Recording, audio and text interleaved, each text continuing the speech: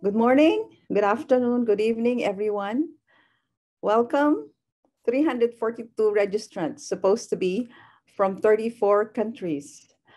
On behalf of the organizers, the USDA FAS, Virginia Tech, ISA, and the Biotechnology Information Centers, we welcome animal biotechnologists in the academe and research institutions, policymakers, and regulations to the Asia Oceania Regional Animal Biotech Genetic Engineering and Genome Editing Virtual Workshop. I am Dr. Rodora Romero Aldemida, Director of the ISA Southeast Asia Center and the Global Knowledge Center on Crop Biotechnology. The aim of this workshop is to provide information on current innovations on animal biotechnology in four animal species, namely the poultry, aquaculture, swine, and cattle, and raise awareness on the benefits and opportunities in animal research, targeting animal welfare, and other public uh, applications in food and agriculture, provide information on how policymakers craft science-based policies in support for the utilization of animal biotechnology to enhance food security and agricultural sustainability, and how regulators conduct risk assessment for food, feed, and environment following relevant international standards. Similar events have been conducted in Africa and Latin America with other partners, including the ISA AfriCenter and ICA. So these uh, two days will focus on specific presentations. So today is the first day, and it will cover science and opportunities in four animal species and policy con considerations in biotech animals and policies in selected countries. Tomorrow, the second day, there will be a continuation of the policy considerations in selected countries. We will have food, feed, and environmental safety assessments and science communication on animal biotechnology. So the structure of the virtual workshop is the following. We will run for two days, three hours per day, conducted in the English language with no interpreter. So we are on FB, Facebook, and YouTube live stream. Resource speakers will present live following the agenda and times allocated. Queries should be entered in the Q&A function and will be read by the moderator, including the source of the query and to whom it is directed to. We will also recognize raised hands for queries and they will be allowed to unmute so that there can be interactive discussion. We also have uh, pre and post webinar evaluation surveys as we already have received yours, your pre survey. And so we will post tomorrow at the end of the workshop, the post-webinar survey, and this will be the basis of your certificates. So we are giving away certificates for those who have completed the two days and at the same time have responded to the webinar surveys. So with that, let's proceed to the first session. The first session is on science and opportunities for biotech genetic engineering and genome editing for animals, for food and agriculture. Our speaker is Dr. Carl Ramage. He is the managing editor of, uh, managing director of Rautaki Solutions, a consultancy business that supports the national and international biotech organizations across pub public and private sectors. He focuses on providing strategic and opera operational direction in biosafety and the commercialization of biotech products, including the development of regulatory strategy and the drafting of regulatory dossiers for submission and assessment by competent authorities. He has focused on building sustainable capability and capacity in biosafety and biorisk management, He's actively involved in the development and implementation of compliance management frameworks and compliance plans for physical containment facilities, as well as programs for the international release of genetically modified organisms into the environment. Let's welcome Dr. Carl Ramage, please. Thanks, Ola. I need a shorter bio, I think. Um, but thanks so much. Uh, good morning and good afternoon, everyone. Um, I'm really excited about the program and, and some of the speakers that we'll hear from um, uh, over the next two days. I guess my role uh, with being the first talk is to try to set a bit of a scene um, and, and hopefully stimulate some discussion as we go through uh, over, the, over the course of the next two days. Let's see if I can share my screen.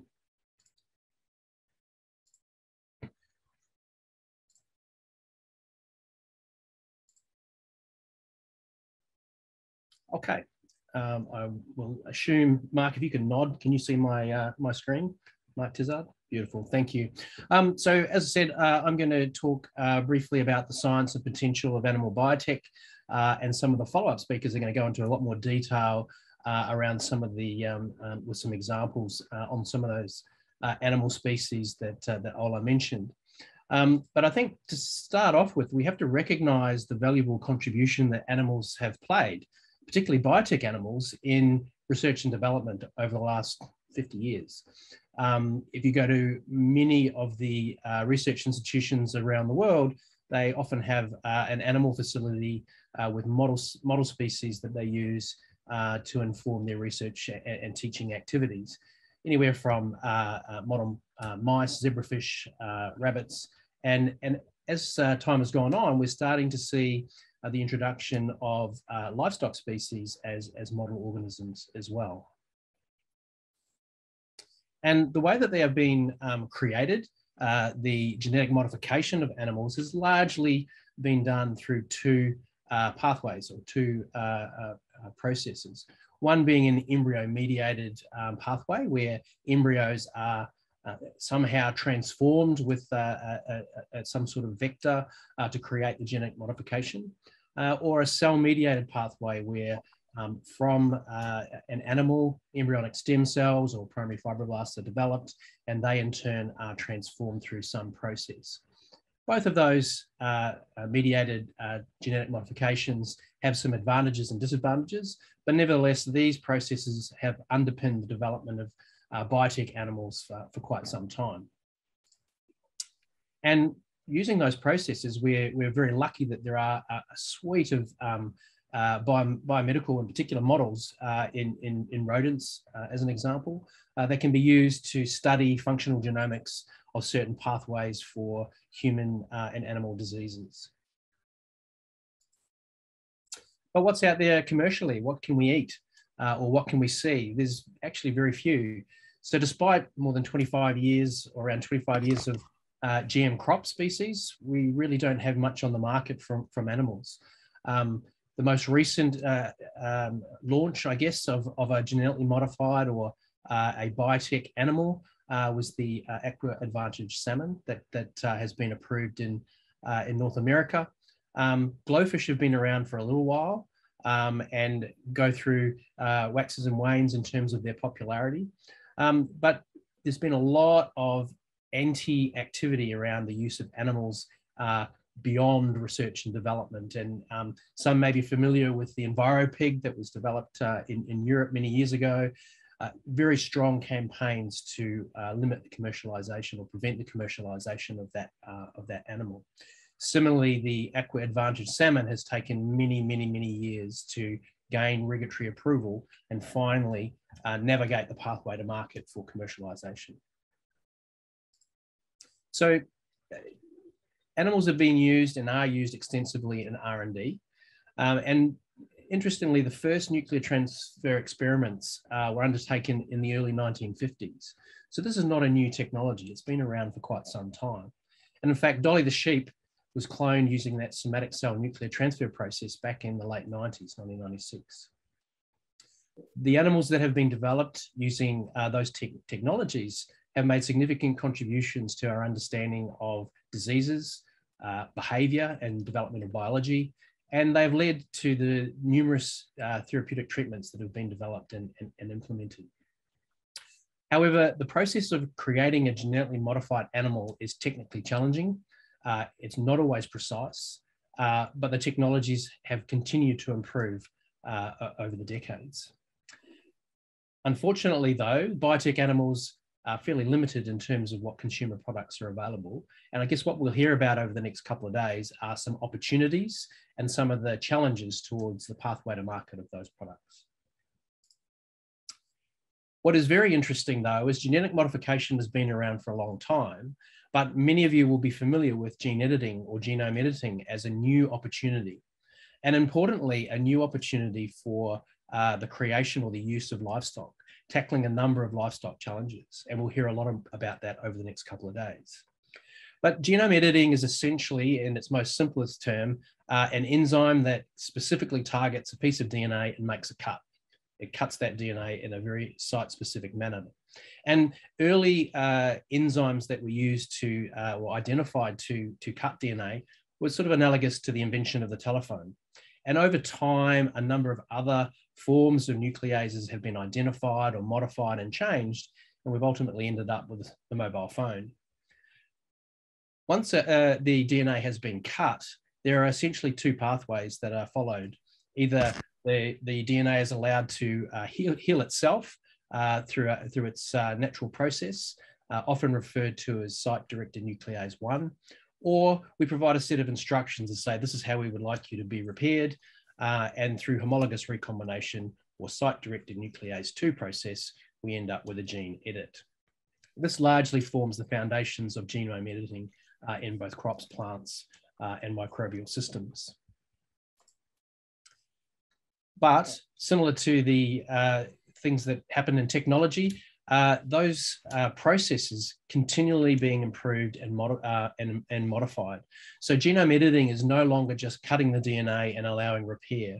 We can also uh, use genome editing to target gene regulation. We can look at uh, just specific base changes. We can change the topography or the topology of chromatin and, and the way that um, uh, the DNA is, is, um, is condensed. So there's a whole suite of improvements and a toolkit now of, of processes for genome editing. And those processes still largely uh, rely on traditional delivery methods. So those very two mediated uh, uh, transformation processes I talked about earlier. So for example, microinjection and electroporation from uh, uh, you know, into stem cells or in, directly into embryos uh, are methods that are still being used. But there are also a whole suite of new uh, delivery methods that are that are becoming um, more and more favorable. So uh, the use of retroviral systems, the use of nanoparticles, and even these uh, nanoclues are also examples of how to get the genome editing machinery inside the cells to create those specific edits. Deciding what to edit, though, is a bit of a challenge too, but with the advent of improvements in genomics and genotyping and phenotyping, we can identify linkages between genes and phenotypes and then target those for improvements. But those decisions uh, have a number of challenges too. What do we edit? Why do we edit? And I, I guess we'll hear a little bit about that in some model species uh, in the subsequent talks. So genome editing is kind of like the mobile phone, but like all mobile phones, every year there's a new version. We're getting new targets, new methods and options for editing, new delivery systems, and even traits that are more complex that might require multiple edits are now starting to be published in, in the literature as viable options for, for commercialization. So genome editing offers targeted changes for specific outcomes. And that differs from genetic modification in the sense that we're not putting in whole genes or new genes. We're just targeting specific changes linked to a particular phenotypic outcome. Many editing options and delivery methods are, are available, and many, many more are being developed uh, every week. The entire process brings together a whole lot of technically complex systems and methods, and that makes it challenging and sometimes expensive uh, not just to, only in identifying targets, but then delivering those targets and creating a product at the end of it. Um, many traits, though, are complex and will require multiple edits. So that is why what is driving and what is pulling through technological advances in genome editing. But under, underlying this, though, decisions on what to edit can sometimes be morally and ethically challenging. And I guess we, again, will hear a little bit more about uh, that as this, uh, the next two days um, proceed.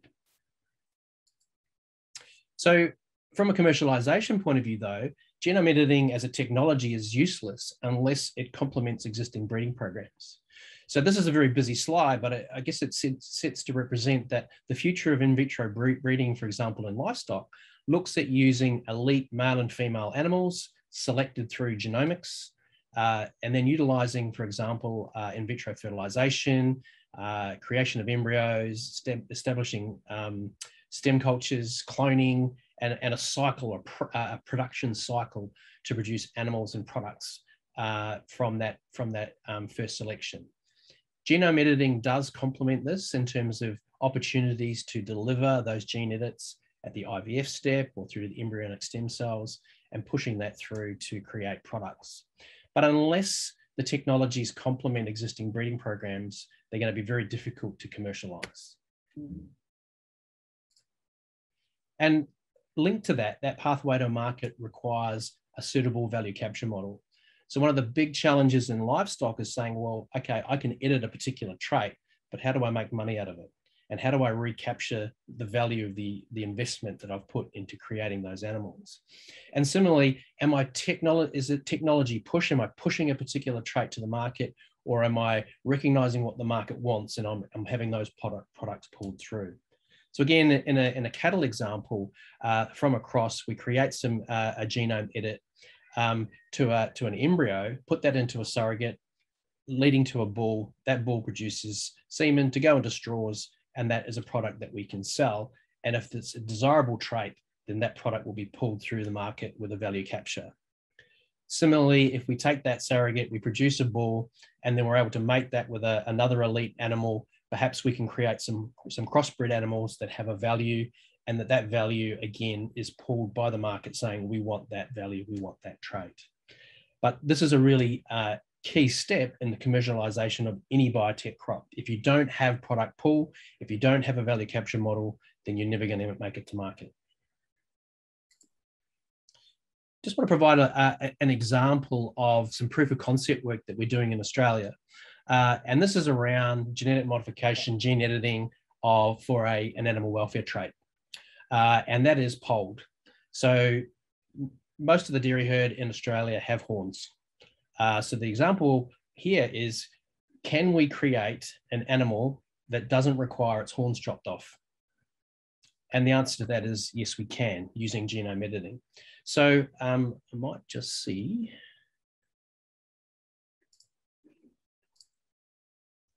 Put on this.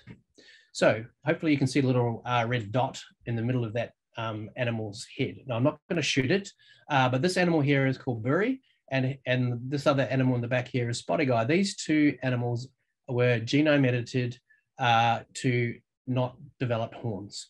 So you can see they do not have horns. They never developed or grew horns uh, from, from day one. What we did is we took the semen from this bull and imported that into Australia it was imported as a genetically modified organism because our legislation requires that. Um, and so they were kept and are kept in a, um, any animals would be kept in a, a, certified containment facility. And we produced a small herd of genome edited progeny from, from this father.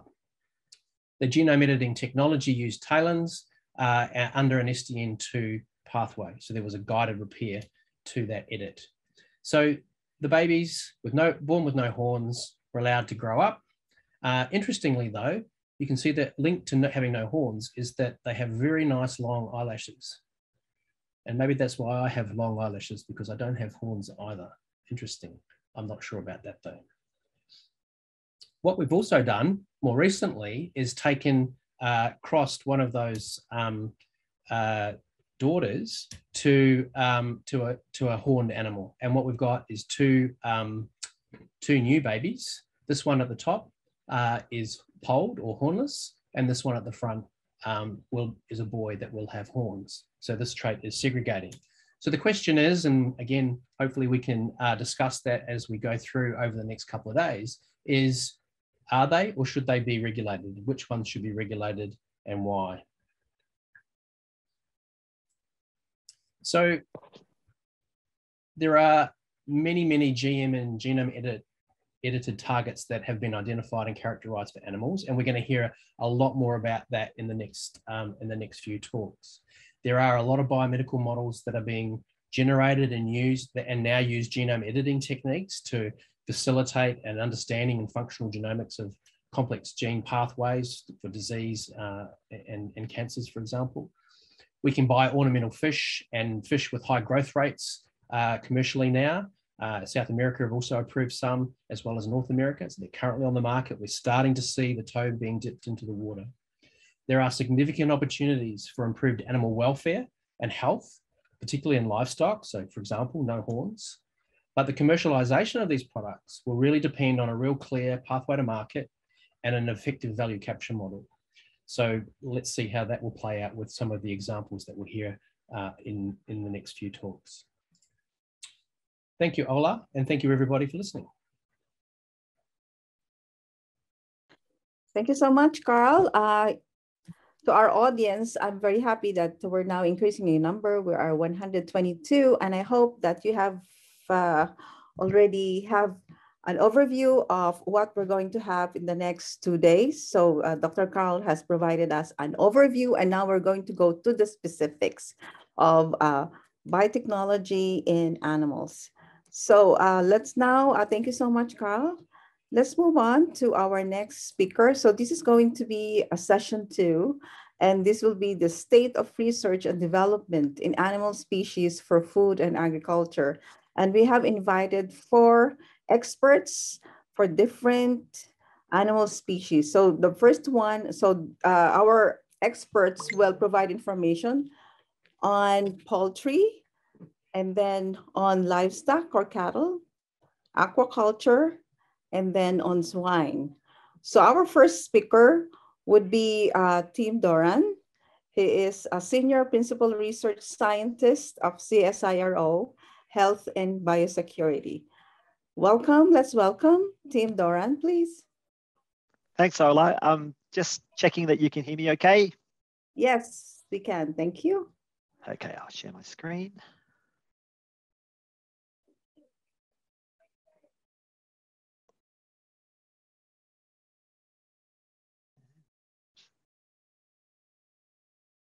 Okay, thank you very much uh, Ola, for the, uh, the opportunity to talk today, and thank you to the organisers of this wonderful workshop.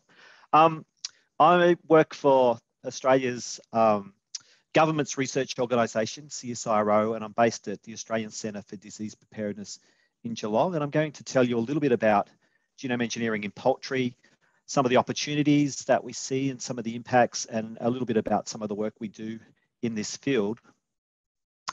Um, first of all, why genetically engineer chickens or, or any other avian species for that matter. Um, there, are, there are four reasons that we can see that people are working in this field. One is, is biology. So um, chickens and quail in particular are very good model organisms for studying um, developmental biology. You know, can access the embryo quite easily uh, via um, the egg. So they're, they're used quite um, extensively in, in research. Um, the topic of today, of course, is agriculture. You know, they're obviously very important um, agricultural species, um, chickens in particular.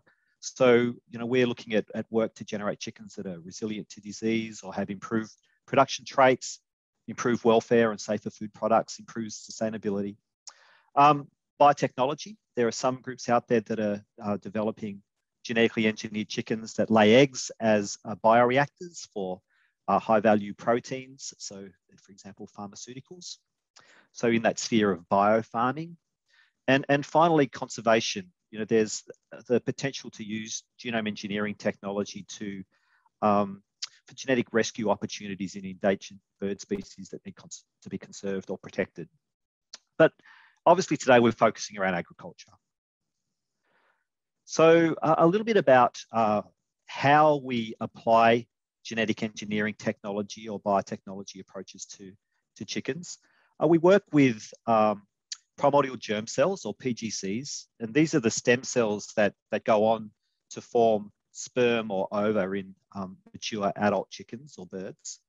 Um, quite uniquely in, in, in avian species, these PGCs in embryos migrate through the blood system, the vasculature on the path to the gonad where they become sperm or overproducing cells. And that means you can, you can access them from the embryo and work with them either outside of the embryo in culture. And this is work that was um, uh, developed by Marie-Cécile van Leeuwen um, in the US. Uh, and, and is really quite a common way now of being able to produce uh, genetically engineered chickens where you can grow these germ cells in cultures in the lab, introduce genetic modifications into the cultured cells, expand them up, and then reintroduce them into recipient embryos and generate modified uh, germline animals that way. Or there's a simpler method that uh, our lab developed and published in 2014, where we've showed that we can apply genome engineering tools directly to the embryo via what we call direct injection and modify the germ cells while they're still in the embryo. This is the method we use. Um, okay, I'm going to focus on three opportunities that uh, we're working on and others, and these are examples that others uh, have, have recently published. Um, the first one is around disease resilience and avian influenza. So avian influenza is a, a, obviously a major problem in the poultry industry. It uh, has consistent and extensive outbreaks over the years, including recent years. Um, control methods like vaccinations are not fully effective. And of course, you know, in the current world of the pandemic that we're in right now, there's also significant threat of avian influenza viruses spilling from animals into humans to cause a flu pandemic as well. Um, so using uh, some really, you know, wonderful functional genomics and comparative genomic studies, there's a really good understanding of uh, the role that um, avian influenza virus polymerase protein uh, has in, in, in causing infection. And it's been observed that avian influenza virus polymerase does not function well in mammalian cells. And this is called host restriction. And when this was studied, it was identified that there's a, a difference in a particular gene called ANP32A um, that's present in, in chickens and also mammals. Um, and what happens in the avian gene, there's a, a segment that encodes for 33 amino acids that's inserted into the chicken uh, version of the AMP32A gene that's not in the human or mammalian version. And so uh, there's a wonderful publication from Long et al. where they use CRISPR technology that, that Carl so um, wonderfully explained in his presentation to remove those 33 amino acids from the chicken AMP32A gene. They also knocked out the entire protein in chicken cells. And what they saw was that in the edited cells that expressed the short chicken version, it supported mammalian uh, adapted but not avian polymerase activity. And when you completely knocked out the AMP32A gene in those cells, it didn't support either mammalian or avian influenza polymerase activity, and the cells were refractory to infection. So this is work that's now being led by the Roswell Institute, and we're very eagerly waiting to see the results of these experiments where they've generated um, genetically engineered, edited chickens where they've modified the ANP32A gene, and we're hoping to see that there's some good levels of resilience to avian influenza in those birds. So that's one to keep an eye out on. The second example for disease resilience is uh, focused on avian leukosis virus, in particular, a subgroup uh, J. So this virus, ALVJ, causes significant economic losses in the poultry industry. Um, and the gene that they've been looking at is uh, the NHE1 gene, which is the receptor for the virus. And again, using comparative genomics and functional genomic studies, it was observed that a particular substitution of a single amino acid, this one here, tryptophan 38, in the NHE1 gene across a whole range of different um, avian species related to chickens. So we've got chicken and guinea fowl and quail and pheasant and turkey. If you had a single uh, substitution or deletion in this tryptophan 38 that confers resistance to infection. So it was a, a wonderful target, again, to, uh, to apply genome editing technologies to, to see whether or not you could edit this gene in the chicken that's susceptible to the virus to delete this tryptophan. And the results of that uh, experiment were published as well. And the chickens that had the edit of this tryptophan were shown to be highly resilient to ALVJ. And so again, a wonderful use of, of genome engineering technology to confer resistance to diseases. And we're hoping that one of the, the major breeding companies will be taking this one forward at some stage. Um, the next example that I wanted to, to, to, briefly mention was around increased food safety, and in particular, uh, egg allergy. So egg allergy is, uh, is very widespread. It impacts more than 40 million children worldwide. Uh, in the US alone, the, the cost of childhood food allergies is estimated to be about 25 billion per year. So it's a very big problem.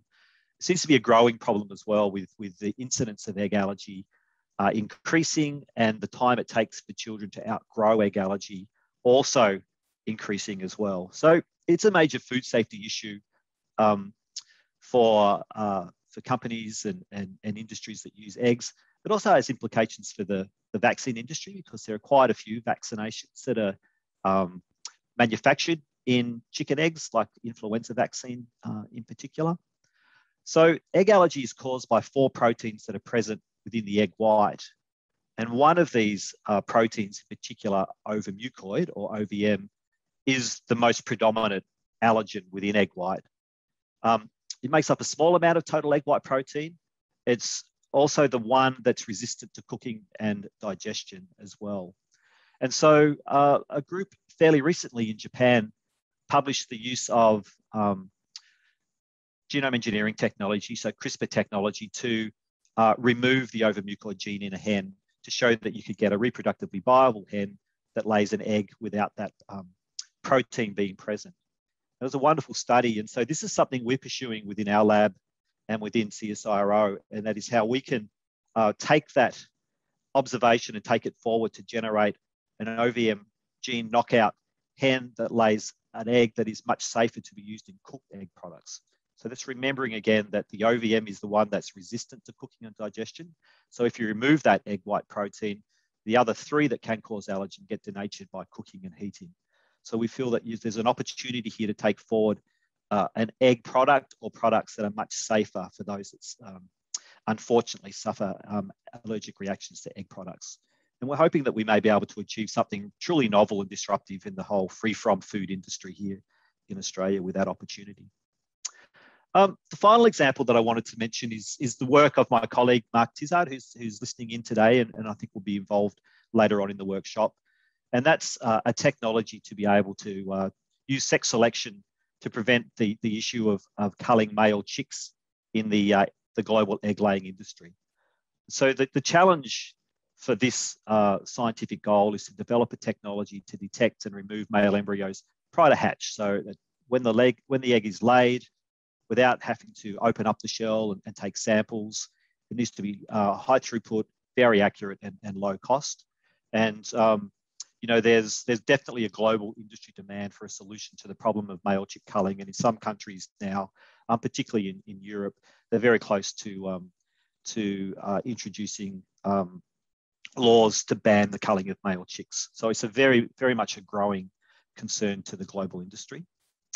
So our approach is to uh, integra integrate a transgene that expresses a fluorescent marker gene onto the sex chromosome of um, the female breeder hen. So in chickens, sex chromosomes are opposite to, to mammals.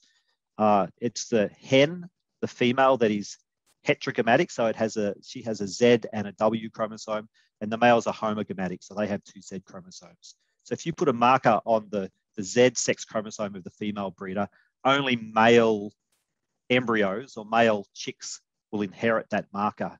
And so we were able to um, then identify through the shell the, um, the presence of that marker gene at point of lay.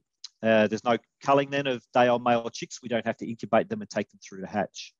Um, and of course, the females that result from that breeding don't inherit that mark chromosome at all. They, they inherit their uh, Z chromosome from the male, which is not modified in any way. So all of these hens are not GM. So here's just a little bit of an example of uh, how we how we use this technology using direct injection. So we um, directly in, introduce into a, an embryo at day 2.5 of age the genetic engineering tools. You know, so this this, this could be CRISPR-Cas9, uh, it could be TALENs, it could be transposons that can introduce the marker gene. We seal up the egg, we incubate, we take that through to hatch, we raise the, the, the, males to sexual maturity. We take a semen sample from the male, um, and we identify the, the male that is most chimeric for the presence of the transgene in the sperm cells. We then put that male into a mating, generate chicks, screen them for the presence of the, of the transgene. And in this case, we're looking for a female that has the, the marker gene on the Z chromosome. And then when we put that female into a mating, we can identify male embryos by the presence of the fluorescent marker in the, um, the blastoderm at point uh, at, at, the point of lay, so um, before they're, they're incubated. And of, of course, you can't see any marker gene in the female embryo that's developing at that stage because it's not present and not GM. So um, a little bit uh, of a look at the um, supply chain and how this works. So for this technology, we need to be working with the global genetic companies. They um, are the ones that, that, uh, that have the issue of having to cull the male chicks. So they'll be able to screen uh, at point of lay for the, the females. The females then go off to local farmers. Um, the hens are exactly the same as they are today. They don't inherit the marked um, chromosome through the breeding process.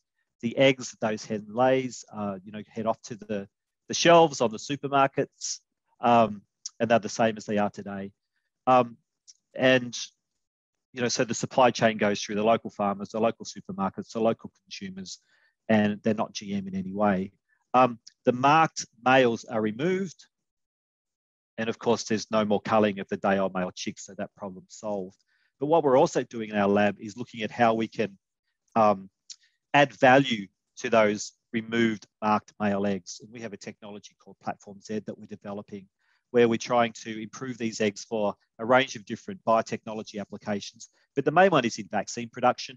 So as I mentioned, um, flu vaccine production uses a lot of fertilized chicken eggs. So we can see that we can convert what's essentially a, low value um, product at the moment, or even a waste stream in some uh, some countries into a high value purpose for being able to produce better vaccinations and, and better vaccines in these um, male marked eggs. Um, I think I'm just about right on time. So just finally, just like to thank the team uh, in CSIRO that works on all of these opportunities. Uh, and also just highlight Mark, who's been a, a, major driver behind the sex selection technology that we've been developing. Thank you very much. Thank you so much, uh, Tim Doran. So you have seen uh, what's going on in poultry, and these are the research being done in Australia at CSIRO. Uh, we would like to invite everyone who would like to raise questions. Please put your questions in the Q&A box. I know that there's a lot of interest in poultry in our audience. We have a lot of um, uh, researchers uh, in our audience right now. So uh, I invite you to please put your questions we can now proceed. Uh, we are uh, on time, so uh, I'm really excited for the our Q&A. Uh, and I hope that we can have questions when we get there. So our next speaker would be talking about livestock or cattle. Uh, he is Dr. Laercio Porto Neto.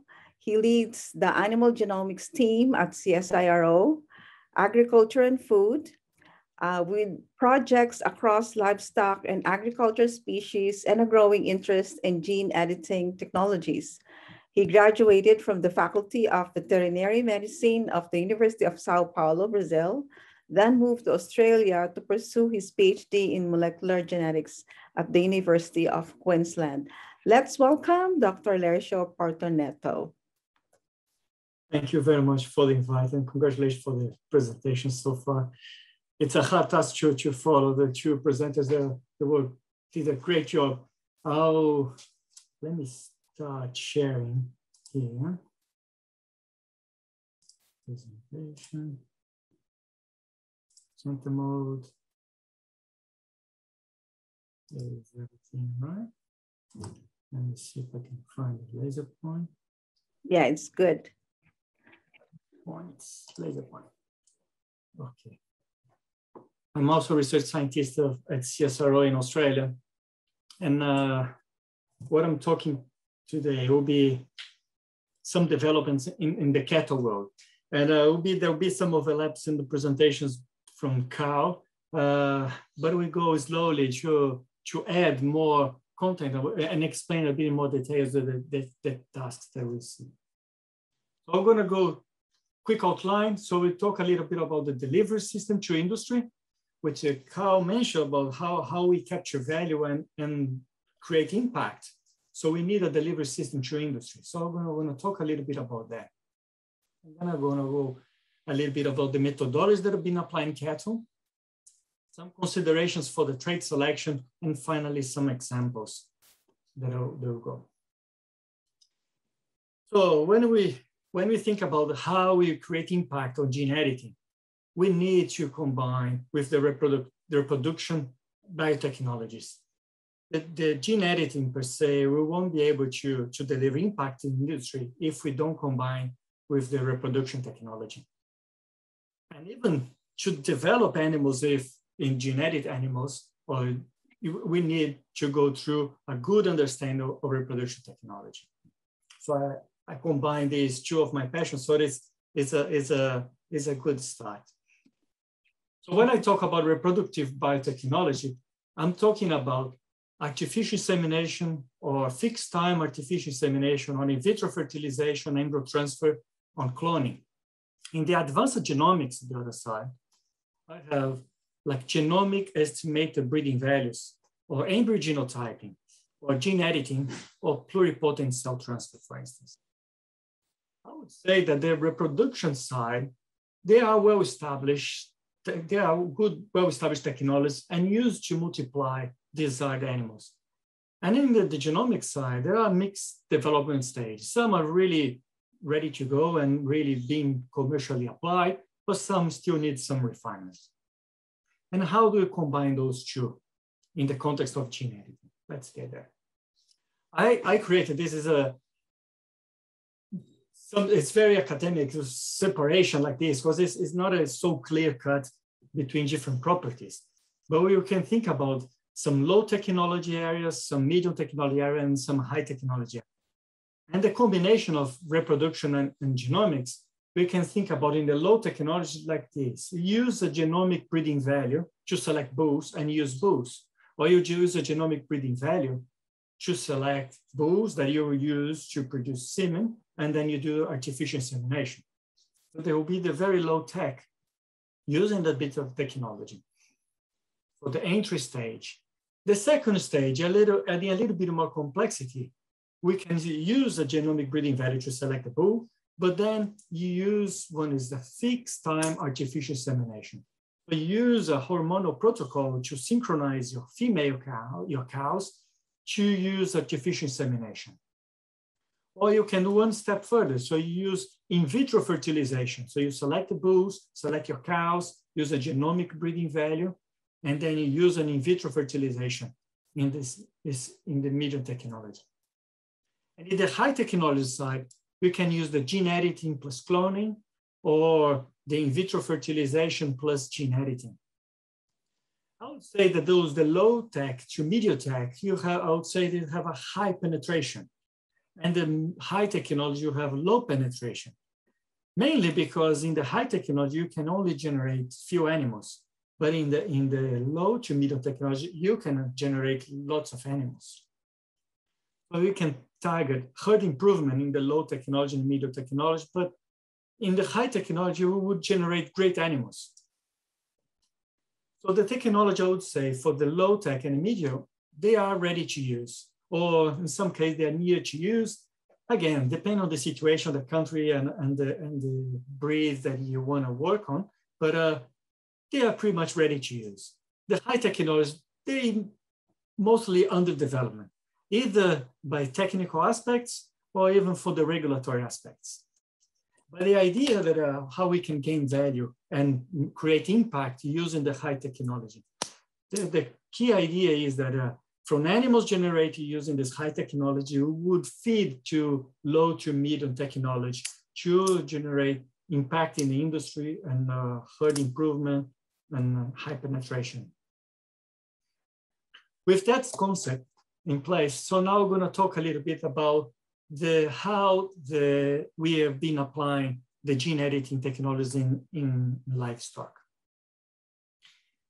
We, similar plots were presented before, but uh, I'll, I'll highlight here again.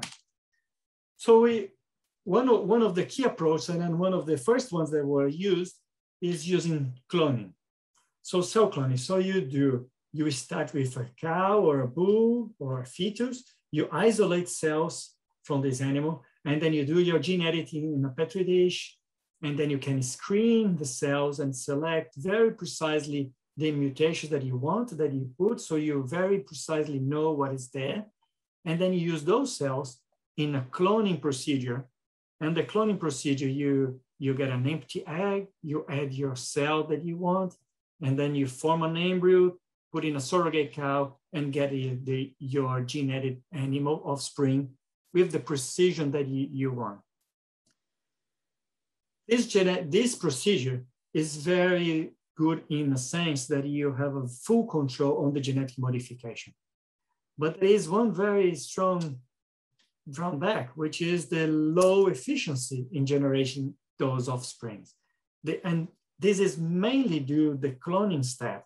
The cloning step is far from ideal in a, in a, as a reproductive technology, biotechnology. is a very, very low efficiency. So sometimes you're gonna, or often you're gonna have to generate many, many embryos, many, many pregnancies to generate very few offsprings. So trying to, to avoid the cloning step, other two, two methods were proposed. One, which is the microinjection in the embryo, or the electroporation in embryo as well. So you start, instead of starting cells in a petri dish, you start with an embryo use, and this embryo, you either do a microinjection or you do uh, electroporation. And these embryos are much more viable than the clones so that you can put in a surrogate cows, transfer to surrogate cows and generate quite, quite often, you can generate lots of offsprings. But the catch here, you don't have a lot of control on your, on your gene editing procedure. So you might end up with lots of offsprings, but there will be some wild types, there will be some fully transformed, fully uh, gene edited, the two copies of the gene, some will be partially edited like an heterozygotes or a mosaic animal. So it's a, it's a much more efficient in the sense that you're gonna generate a lot of animal, lot of animals, but not highly efficient in the sense that you're going to have a variety of genotypes in the end. So then trying to avoid this problem that generates a lot of animals without the genotype that you want, it was proposed another step. So with the step when you do your microinjection in the embryo or your electroporation, and then around day six or seven in your blastocyst, you can get a biopsy of it and then you freeze, you vitrify the embryo, and then you do the DNA analysis. And then you screen for the, all the embryos that you produce to, the, to define which embryos you want to transfer to a surrogate cow. And then you transfer only the ones that carry the mutation that you want. So, and then you be able to generate of better control on the offspring that you're going to generate.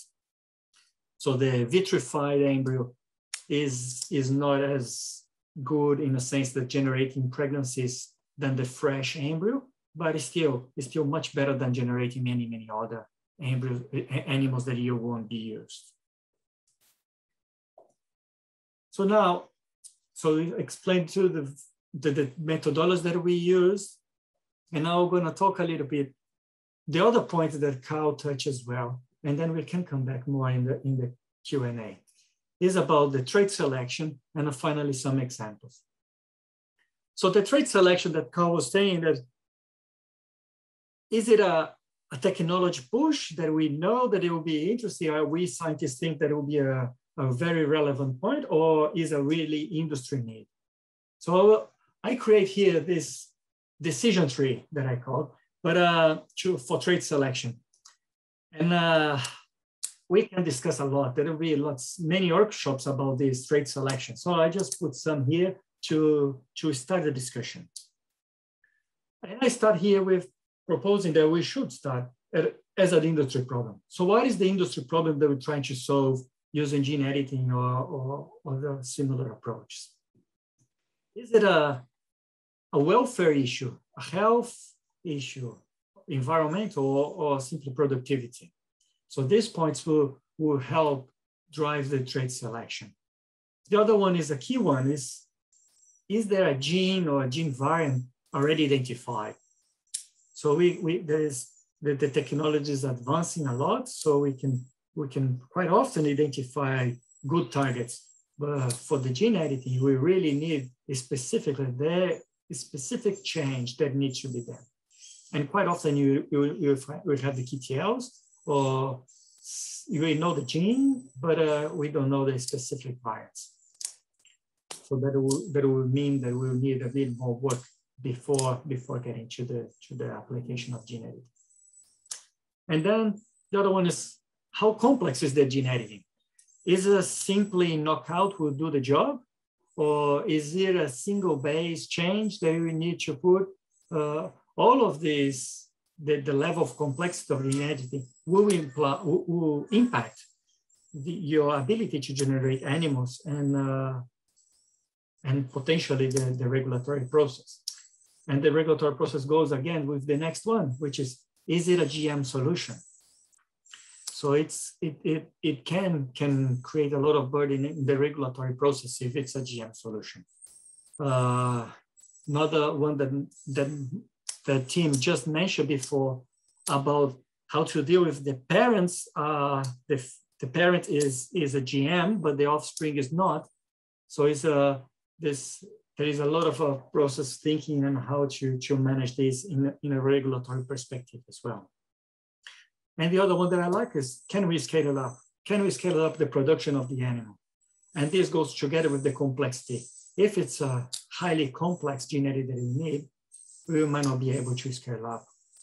So we might not be able to do a, a huge impact in the industry that we would like to. So if this consideration the trait, I'm just gonna go through a few examples that I highlight from, from improving the complexity of the of the of the edit. Two we start with the coat color. So coat color, are these two genes that are known, the MC1R and the PML gene. So they are known to change the coat color. So this is the Angus bull. So you you if you have the big E allele or the small E allele, so small E allele is the recessive, the red. So if you do a change in this base pair, so you can you can change the color, the coat color of the animal. And similarly, in the, the change in the spinal gene, which is there is a deletion there, if you introduce the deletion, you go from, from black, the wild type, to white. So these are the, the, the, PML mutation is, is slightly simpler than the other one because it's not a, a, single base change. So the single base change is a little bit more complex. Should you put a specific chain, then this is no deletion, unless you want a precise specific deletion that can add complexity there as well. Still in the code, we have the code type. The code type, they have this prolactin receptor gene. We have nowadays several mutations being described the first one was described as the, is the Senepol cattle carrier, which is called the SLICK mutation. And here we have this, this picture is, is a producer in Australia They use Senepol cattle. So there you can see a carrier of the, of the SLICK gene when and, you, and the, with a very slick coat and then the hairy one here, another carrier of the SLICK gene. So those, the coat color and the coat type they being related to the thermal resistance of the animal, thermal, or how heat stress the animal, how heat stress or heat susceptible the animal is. So there are groups in US and groups in New Zealand they're trying to combine either those two mutations, the red, the black, and the slick coat, and the, or the white and black with this coat, trying to make taurine cattle more adapted to the tropics. So these are currently uh, the animals are being born, I think, and then uh, there are a few reports on the on the publications. Um, so that will be interesting to see in uh, this experimental design when you and you combine and edit those animals if they will be really more thermotolerant or heat or heat tolerant than the than their counterparts. Other two examples I want to put some of it. So here on the on, on the left, is the heavy muscling, is, is about the productivity, carcass yield, when uh, again, many, many mutations described in the myostatin gene, and uh, some are very, uh, carry a very strong phenotype with the very double muscling, which is called the double muscling. So it's a very muscular animal, and some a little bit more mild than that, that, that as well, but all of them relate to carcass yield. So if you have some variants, uh, some variants in the in the myostatin gene, you can have like this. So that so these are the, the same age animals. On the right, you have uh, heavy muscle variant gene with the and and in the left side is um is smaller carcass yield than the, the right one.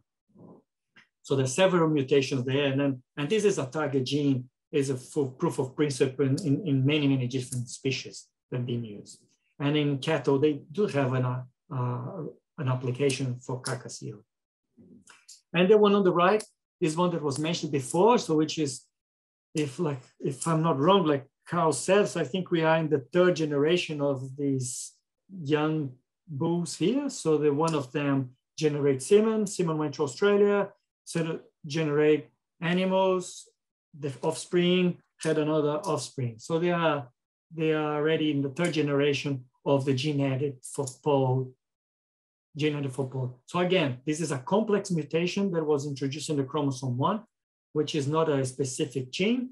It's just uh, one, one, one fraction of the chromosome that needs to be changed. So they change and generate a pole animal there. There is a lot of research trying to figure out exactly how is the biological mechanism around the pole, which is not that clear yet. And the final two examples I want to do, I want to show is one is creating sex bias, which is, I think, like similar to the, to the poultry industry in cattle would also be very relevant for animal production. So that if we could bias the sex of the animal. And here we, um, I'm putting the, the approach, this is a transgenic approach. So the, the this group in, in UC Davis, California, they introduced the SRY gene in the chromosome, chromosome 17 of this bull with a hope that the 75% of the offsprings of this bull will, will generate uh, male calves. I think Alison was, uh, I checked a little while ago, Alison was in the call, so maybe in the Q&A, she can give us a little bit of an update of what was, what is the about of this, of this little calf of because I don't know what happened after the after this publication then. So, and the final one that I want to talk about is another one that I, I really like the idea and the concept, which is the surrogate males. I put the, the drawing here of the of the mice, but uh, it was done in cattle as well. So the idea is that you generate some males, fully developed males, but they they don't have spermatogonial stem cells, so they don't produce sperm. So they, they have a fully functional testis, but they don't have spermatogonial stem cells. So and the idea is that you recolonize the testis with the spermatogonial stem cells, so they will produce sperm of the animal that was used to recolonize the testis. So in here in, in the graph is like this. So the white and the white mouse here, the white male, is a fully developed one, but they don't produce sperm because they, they lack spermatogonial cells. So, but they can we can harvest the, the spermatogonial stem cells from the black one here, the culture expand them, and then transfer to recolonize the testes of the white one.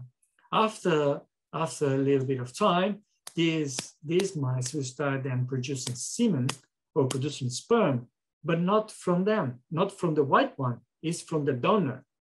And then you, you can see here the offsprings when you have the, the mating here, the, the, the, the pair, the adult pair with the, the white ones with the black offsprings, which are the offsprings of the of the, the male side is, the, is this comes from the donor cell. So this is a complex, is a complex process, but again, there is a direct application in the, the, potentially a direct application in the cattle industry. And similar to the to the to the issues with Tim and Mark with the with the parents that are transgenic and uh, or and the offspring that is not.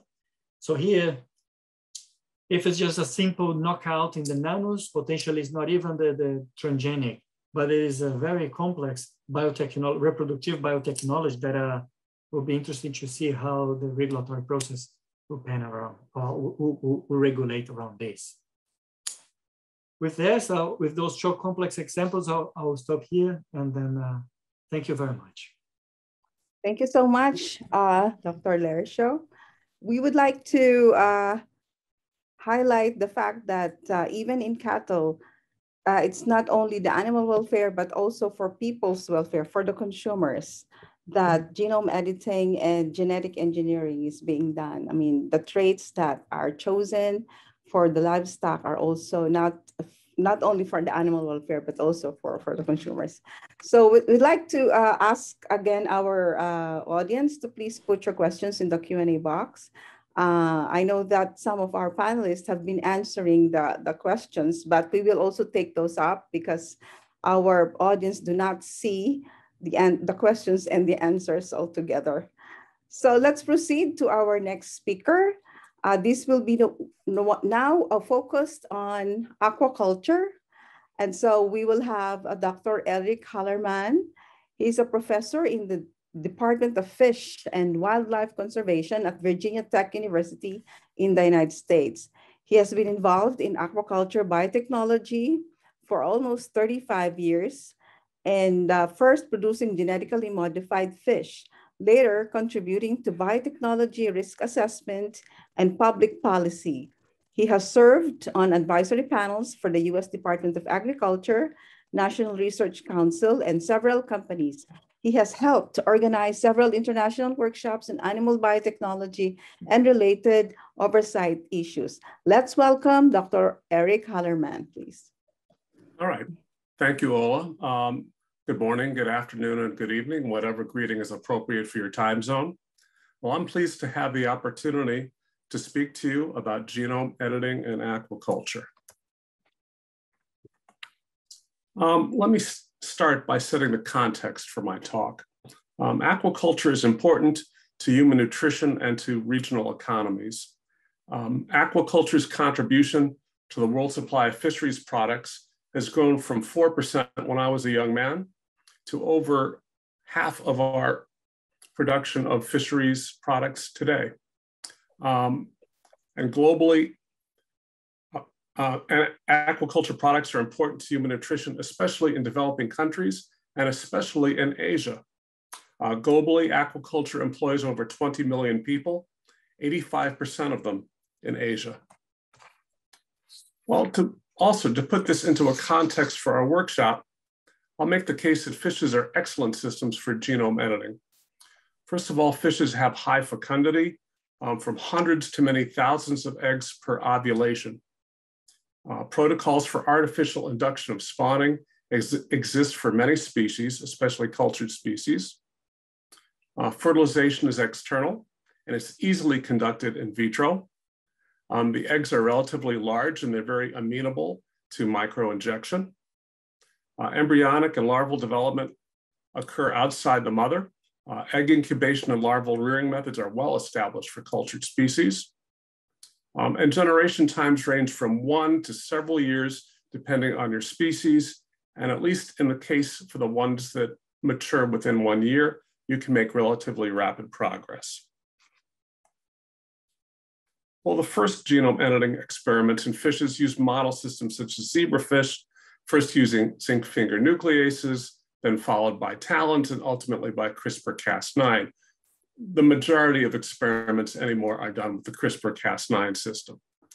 Um, then these protocols had to be adapted to aquaculture species. The first experiments especially often used marker genes to show that transformation had occurred. In one well-cited study, Edvardsen et al. Uh, select, selected the solute carrier family 45, member 2, and tyrosinase genes that are known to be involved in pigmentation of fishes as marker genes.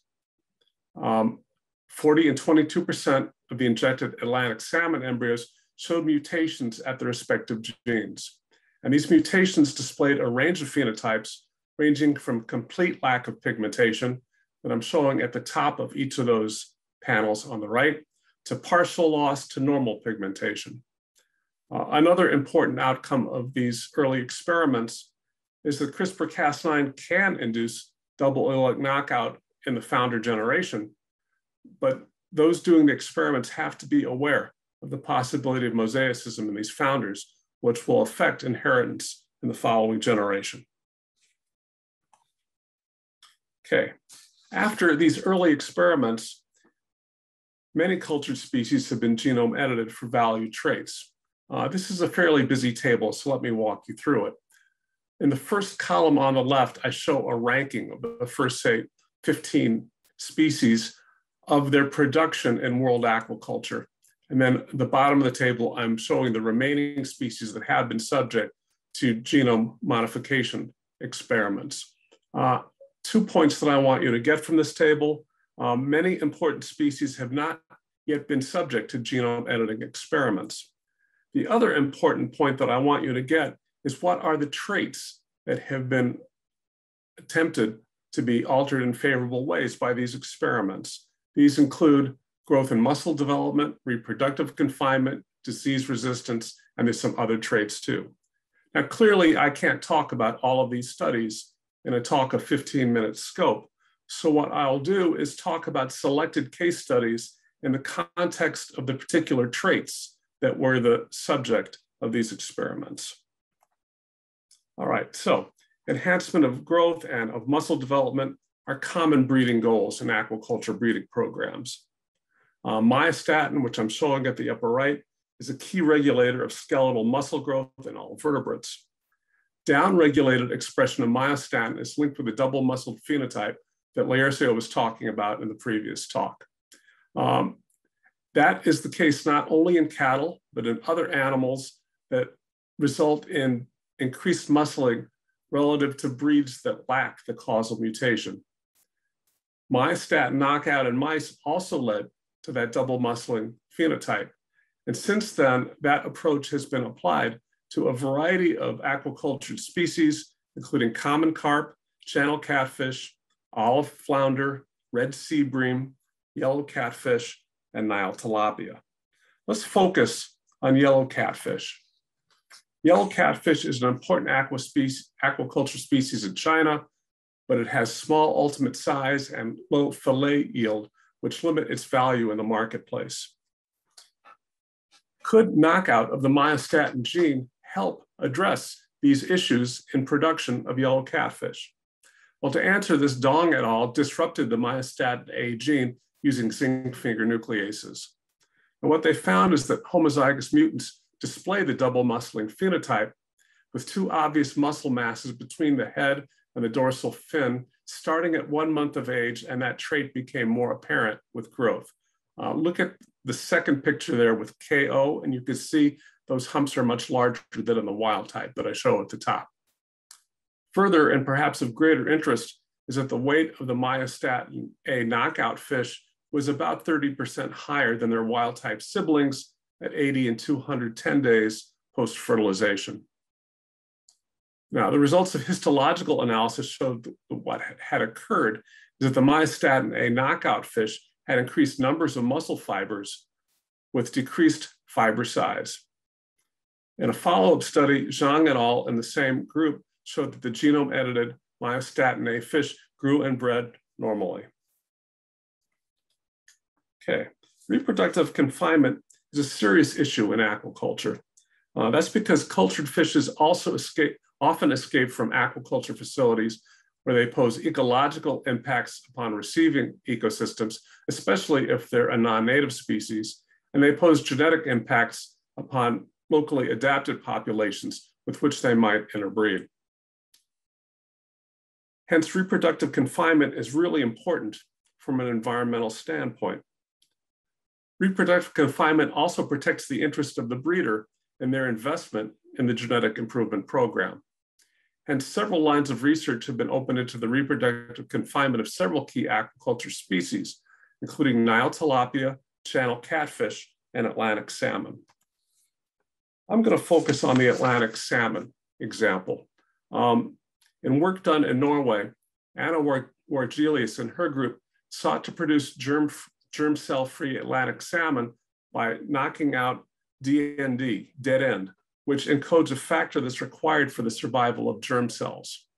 And indeed, the induced DND mutations produced fish that lacked germ cells. Following up on this, Kleppe et al. showed the germ cell-free salmon remained immature and did not undergo puberty. So what I'm showing here in the middle is a panel of four pictures comparing gonadal development in different types of Atlantic salmon. First of all, on the left, a wild type female, if you look at the inset picture, you can see the yellow masses.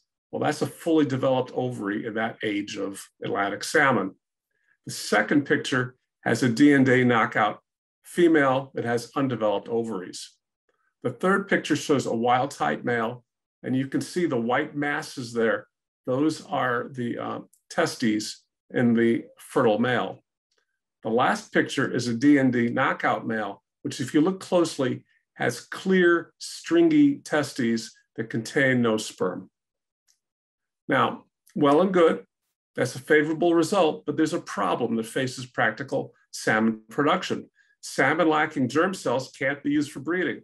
Hence, you need a strategy for recovering the reproductive ability for these fish in aquaculture. So Güralp et al. from the same group reported a rescue approach for producing germ cells in DND knockout animals. What they did is they co-injected the wild type variant of DND messenger RNA together with a CRISPR-Cas9 construct targeting DND into the oocytes of females. What they showed is that rescued one-year-old fish did contain germ cells. Actually, in the males, you had type A spermatogonia, and you had pre-vitellogenic primary oocytes in the females. What this shows is that fish to be used as broodstock could be rescued, while production fish, which would be intended for culture in open net pens in the sea, would not be subject to this additional step. So the demonstration of rescue opens the possibility for large scale production of germ cell free Atlantic salmon offspring. Disease resistance is a trait of major interest for growers. That's because aquaculture stocks are commonly held at really high population densities, and the fish are subject to physiological and social stress, and that renders them especially susceptible to parasites and pathogens. Hence, loss to disease is a major threat to aquaculture enterprises. Genetic improvement of disease resistance is a high, breed, is a high breeding priority. So several genome editing experiments have addressed improvement of disease resistance in certain key species, including rohu, which is an Indian major carp, grass carp, which is a Chinese major carp, and channel catfish, which is widely produced in North America.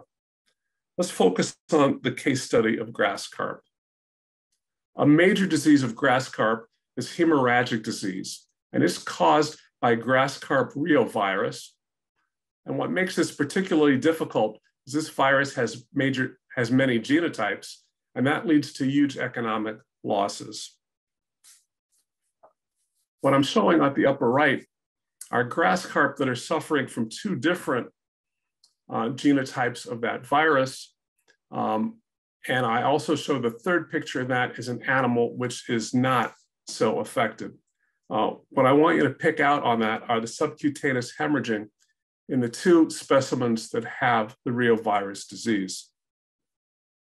Well, it seems that junction adhesion molecule A, or JAMA A, which is a member of the immunoglobulin superfamily, is implicated in the entry of the virus into host cells. Hence, knockout of that gene may be useful for developing therapies against grass carp reovirus infection. So with that as a background, Ma et al. knocked out the grass carp JAMA gene and evaluated in vitro resistance against various GCRV genotypes. Now, CRISPR-Cas9 effectively knocked out JAMA and reduced infection for two different grass carp reovirus genotypes as was measured in kidney cell cultures. What I'm showing at the lower right is virus titer at 24 and 72 hours for two different viral types. Viral titer for the knockout lines that's shown in black was less than that in wild type cells, which is shown in gray. So overall, what this experiment showed is that JAMA A is necessary for GCRV infection, and the results suggested that knockout might be a viable approach for control of the disease. This work will have to be studied also in vivo in order to show positive proof of principle. Now, genome editing might be applied to understand genes that affect valued traits and ultimately to approach other breeding goals. So just briefly, in one experiment, Pacific bluefin tuna were subject to uh, an experiment uh, to knock out a particular gene that has to do with muscle contraction properties. And the point here is to minimize injuries to the tuna from bumping into the walls of the net pens in which they're being cultured. Coloration is an important trait for the marketplace. Animals that have attractive coloration get a slightly higher price in the market. Hence, modifying the fish to get valued phenotypes uh, is an important line of, uh, of uh, research, and that's been pursued in large-scale loach, which is marketed in Eastern Asia, um, white crucian carp, which is marketed especially in China, and Atlantic salmon marketed worldwide. Another interesting line of research has to do with uh, conferring hyded fatty acid or altered fatty acid composition of the flesh to Atlantic salmon. What we're looking to do is to increase the concentration of omega-3 fatty acids in the uh, Atlantic salmon fillets, which offers a potential benefit to the consumer. Now, the scope of world aquaculture includes not only fishes, but also mollusks, crustaceans, and seaweeds, and some recent work has developed protocols for genome editing in these taxa. These lines of research are more preliminary and have not progressed as far as the lines of research that I described for the fishes. Mollusks are particularly difficult to work with because their eggs are very small and they develop very quickly.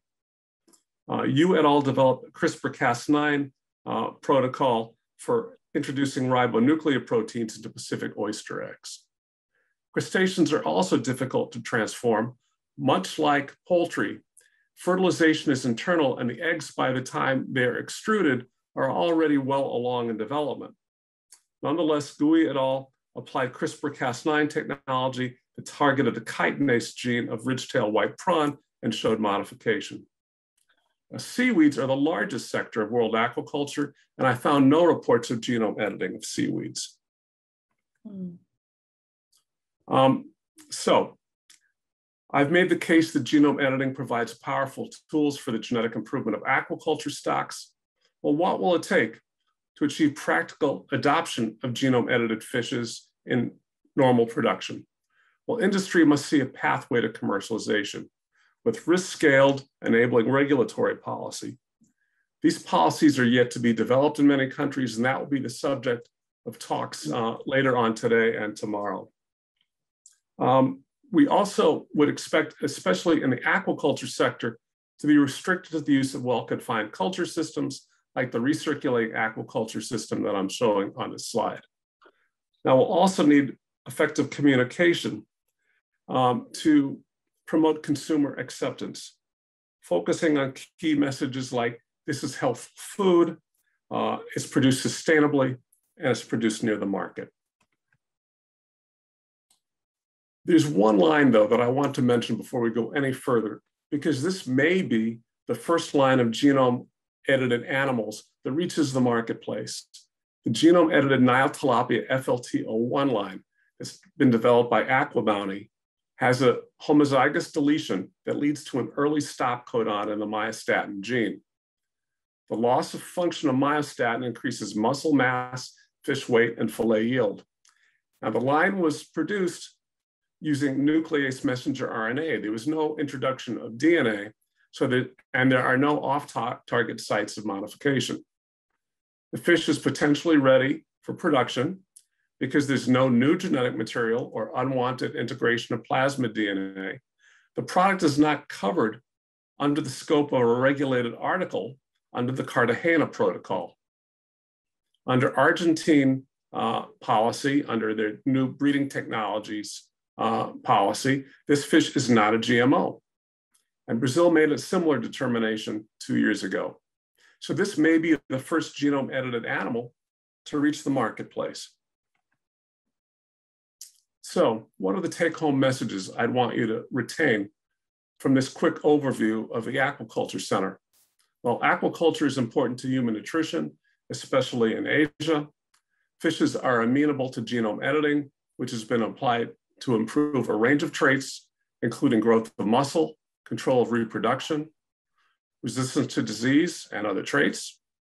And genome edited fish, this one leading line, the FLT01 Nile tilapia, can be produced in commercial aquaculture once we achieve some preconditions, risk and risk scaled enabling regulatory policy, use of well-confined culture systems, and measures to promote consumer acceptance. And that's my view of genome editing and aquaculture. Ola, the floor is yours. Yes. Thank you so much, Eric. It's amazing how much uh, genome editing has been done to aquaculture, not only in fishes, but also in seashells, mollusks, crustaceans. And I know that we have a lot of questions coming up. So please post your questions. And we're now, thank you so much again, Eric. So we can now proceed to the Q&A.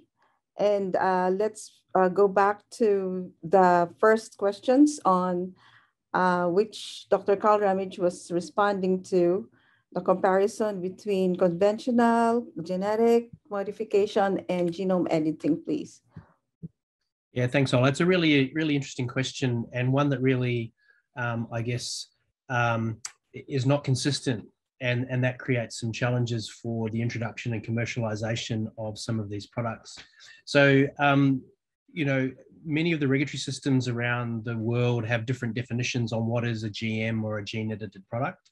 Um, uh, some of those systems, and many of them actually um, consider the process of gene technology as a trigger for regulation, and therefore uh, genome editing and genetic modification may be seen as one and the same thing and regulated the same. In other jurisdictions, they might look at the, the definition in a slightly different way. So in South America, for example, it was mentioned, I think, in, um, in Eric's talk about the Cartagena Protocol has a definition of what a genetically modified organism is or a, or a living modified organism. And that really centers around the introduction of, of new DNA. Um, so if there's no new introduction of, uh, of DNA, then it may not be considered a genetic modified organism. And that's, I think, why the, the tilapia uh, may bypass uh, uh, the need to go through regulation in, in, in parts of South America. Other um, uh, economies might look at their regulatory system from the point of view of the product rather than the process. Um, so in the US, again, uh, looking at that product and saying, well, is, has anything changed substantially compared mm. to what could be developed using conventional breeding. And if there's nothing substantially different, then it may not be considered uh, a GMO. And in Canada, they look at very much around novelty. So if there's been a novel change, then most definitely they consider that something that needs to be looked at and regulated. But if it's not novel, then it may, and it doesn't pass the novelty test, then it's not, not considered a GMO uh, or a gene edited product and, and may not require regulation. So uh, it's different. And this is one of the big challenges that we have uh, globally for the introduction of any biotech product, whether it be plant or animal, is that our regulatory systems are not harmonized. We look at them quite differently. And maybe these are some questions that we might, want to hear from our regulators on, on how we might be able to tackle that challenge. Mm-hmm. Yes, definitely. Thank you so much, Carl. Now we move forward to uh, questioning uh, individually our panelists. One of the questions that came up here is for uh, Dr. Porto-Neto from Danilda Hufana Duran of the Philippines. Uh, is there a possibility of off-target effects and, and mosaicism in genome editing, uh, genome edited uh, animals? What causes these possible incidences? And what are the corresponding safety issues, perhaps? Safety issues, I think about for the animals or for the consumers. Mm-hmm. And Yes, for, for the animals, it it, it, it is a trick question because you can have a you can have a mosaic animal walking around like living a normal life. There is a, is like a it, it's a it's a normal animal, and uh, the likelihood of having a problem in the in the food safety for human consumption, I think it's Mhm. so so so remote.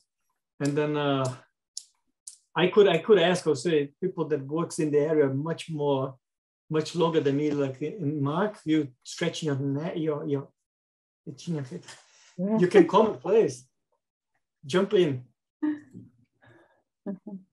okay. Um, Uh, yeah, in- so oh, oh, sorry, just uh, uh, by invited there by Juka. Um, I would say yes, it is. It's really uh, what we have to consider in all of this is the that that that issue of regulation is driven by a desire to maintain the integrity but the safety of food products going to consumers. And uh, you know that that's the driving force behind them. And and it's perhaps a really great point of this this particular forum is for countries across Asia who are in the early days of forming their policies and, and establishing those processes to learn from what's been happening in, in countries that have been considering it perhaps for longer and where those things are more advanced, but where they're not harmonized, as, um, as Carl mentioned, because it, it's an opportunity to learn and, and to get things right from the outset as to what is it that's going to define the safety of the product going to market. And, and it, exactly as Juka said, an animal that comes through this and that is walking around, flapping around, or swimming around is by definition alive and, and generally well. You know, in all of these cases, um, producers want animals that are well, otherwise, they don't produce well. And that, that in itself is a bit of a test of the safety um, uh, of the product. But uh, we still need to consider, you know, how it's properly and formally assessed, and that's the, the process. I'll, uh, if I can comment, if I can comment, I think we have to come back to why we might ask the question on safety.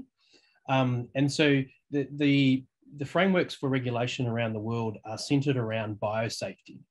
And so what is biosafety? Well, biosafety is the safety associated with uh, a biological hazard that may have some form of, or, or have some sort of opportunity to cause harm to people, animals, or the environment that's basically what biosafety is about. And we've got a lot of biological agents around that cause harm to people and the environments. It might be a snake that can cause harm. It might be a mosquito that passes disease. It might be a virus that causes a pandemic. Or it might be a genetically modified or gene edited product that we have some uncertainty as to what sort of harm it might cause to us as people, to animals that are fed on it, or to the environment through in, you know allowing it to, to be in, in, in the in the wild the reality when it comes to animals and animal production is they're very controlled processes and industries. So it's actually really easy to identify what the harm might be, to manage that harm to either the environment or to people. And I think Eric talked about it in, in his talk with the aquaculture in terms of how do you produce sustainably uh, aquaculture products, uh, you know, and a lot of that is done through uh, fisheries that are quite tightly contained. So the risks to the environment are low. And if the products don't cause a toxin in terms of its feed, then it's not going to be a harm to us. But I think the regulators will might have a different view. I I would add one other point with regard to mosaicism. Okay. It poses All no particular harm to the carrier or to the consumer. What it does is it complicates our breeding of the animal to get the trait into a, pru- into a true breeding line in order to continue our selective breeding experiments. So that's mm-hmm. why we mention it. It's a headache for us as developers, not to the consumer. And then one last Sometimes point. it- yeah. Ca- Carry on. No, it's just because it, it, it adds one more one more generation. But uh, if you have a mosaic animal, you have Sure. to screen the offspring again to find your the one carrier that you want. Yeah. So just go. So that final point that, that I wanted to jump in was was around the, the part of the question that was aimed at um, uh, off-target effects. because that Yes. comes up constantly with these new technologies. And you know, uh, th- there's an obsession to some extent around off-target effects, missing the point that off-target effects happen constantly during breeding. It's you know part of the process of breeding is bringing together variations of traits, and and Mhm. that's based on the background of variants that exist for all genes based on a rate of mutation that creates that variation. That's the point of sex. That's the point of evolution, and it happens all the time. And, and what we're doing is we're doing a particularly targeted change in which people aren't worried so much about the targeted change. We know why we're doing it. We can see it. It's the off-target effects that there's an obsession about what's the problem there. And again, if an animal comes through this alive, uh, which they always do, they're the only ones that we um, develop forward, then there's no deleterious effect on that organism. And then you have to expostulate why would that organism then present a problem to somebody consuming it? And path to harm is something that obsesses me. Articulating what is a path to harm from the use of this technology. And, and that's, I guess, where some of the regulators are starting to go. Risk mitigation, uh, characterize the possible risk. And if it's very low, then um, there's no need to uh, to impose heavy burdens on on regulation and, and burdens of cost and time that will hold the technology up. Okay, there's one question here for uh, all of you. Uh, maybe you can share one at a time. Thank you very much for your uh, presentation. So one of the things that they know, uh, this is from an anonymous attendee, is that most of the presented uh, researchers were are still on the experimental and research part. How do you handle the biosafety concerns of this, especially if the potential for commercialization is coming is becoming close to that commodity. Uh, so we can identify some of the products in the pipeline that would be in the market soon. And so how would you uh, go about the commercialization state uh, process? And it would be interesting especially in the philippines where the biosafety research for animal commodities is still limited. I think it's not only in the philippines but most in in the asian region Anybody? I'll, I'll go first. Okay. Um, look, commercialization, as I think I mentioned in my talk, is not a simple uh, exercise, and I think you know Jukka talked about it as well. You know, you need to have a, a, a pathway to market, and that pathway to market has a number of challenges. Some of that is around the regulatory frameworks of varying uh, economies. It might not just be where you're producing your product, but where you're selling it, uh, and you need to consider that um, you also need to consider what the industry is going to do. So you need a, a, technology and a product that fits within the current production systems. If it sits outside of that, then it does, and it do, doesn't dovetail into the value chain, then it might struggle to get to market. Then the other component of that is um, public acceptance and stakeholder acceptance. That's going to allow you and give you permission to bring that product through. And I think Alison will talk a bit about that in her talk um, uh, tomorrow. Uh, if you don't have product pull and you keep pushing your technology to the consumers, they will resist it. So this is why some of the traits that we heard about, some of the uh, amazing opportunities that are there, um, uh, are being put forward because they do actually have a clear, demonstrable benefit to industry, uh, and also benefits for consumers. And, and that's, I think, really, really important that we see those things um, uh, keep coming along. Yeah. Uh, Eric? In my or- own sector, in my own sector, we talk more and more about product traceability. And the motive for this, at least in the fisheries field, is because people want to buy fisheries products from fisheries that I know are well managed and sustainable. And there's a similar sort of a motivation for aquaculture products. So the notion of having product identity from the farm to the consumer is not out of the picture in my sector. And it's becoming, I believe, more so in others as well, though I invite my colleagues to speak up to that. And so if the consumer wants to know about this, those sorts of systems can be applied. And I think that they are being more and more applied. And when I go to the store, I don't just buy salmon, I buy Chilean Atlantic Mm. salmon, or I buy Alaskan wild caught Chinook salmon, or whatever it is. That traceability is obvious. I pay a little more for it, I think, but it's trivial compared to the base cost of the product. That might be a model for some of this. Yeah, that's really important. The, the grain sector and the, the plant plant biotechnology sector has done this a lot. And the industry's actually got together and developed an, an excellence through stewardship program that really focused on product identity from research and development through to commercialization, through to that product being withdrawn because it's reached the end of its cycle. So that excellence through stewardship process has also been developed to incorporate, for example, gene, genome editing technologies. Mm-hmm. Uh, and I think that the livestock sector and the animal sector can learn a lot from that uh, quality management approach to the stewardship that you're talking about, Eric. And then ultimately, the consumers can decide based on some information around where that product's come from, the sustainability, and some trust in who it is that's been producing that product. Mm-hmm. Yeah, that's correct. Is Tim Doran still here? Okay. Um, uh, uh, we can entertain one more question because, uh, well, we lost some time there. What uh how is this again from the anonymous attendee this is for eric. How is the infection of reovirus manifested in grass carps? What is the standard of interventions that already is being done to prevent infection? Do you think early detection of the reovirus would be beneficial okay so i sort of showed some of that when i showed the subcutaneous hemorrhaging and that's when a fish is sick but it's not dying yet. Later on, you'll start seeing your fish behaving badly and dying. At that mm-hmm. point, there's not much you can do because we have no treatments for viruses, um, especially not in fish in ponds. And so your only alternative is to destroy your livestock. And once you have that on your farm, you're in a world of hurt. The approach to this is to buy um, stock, seed stock that's certified to be free of this virus. And to do selective breeding or genome editing to try and develop virus resistant stocks.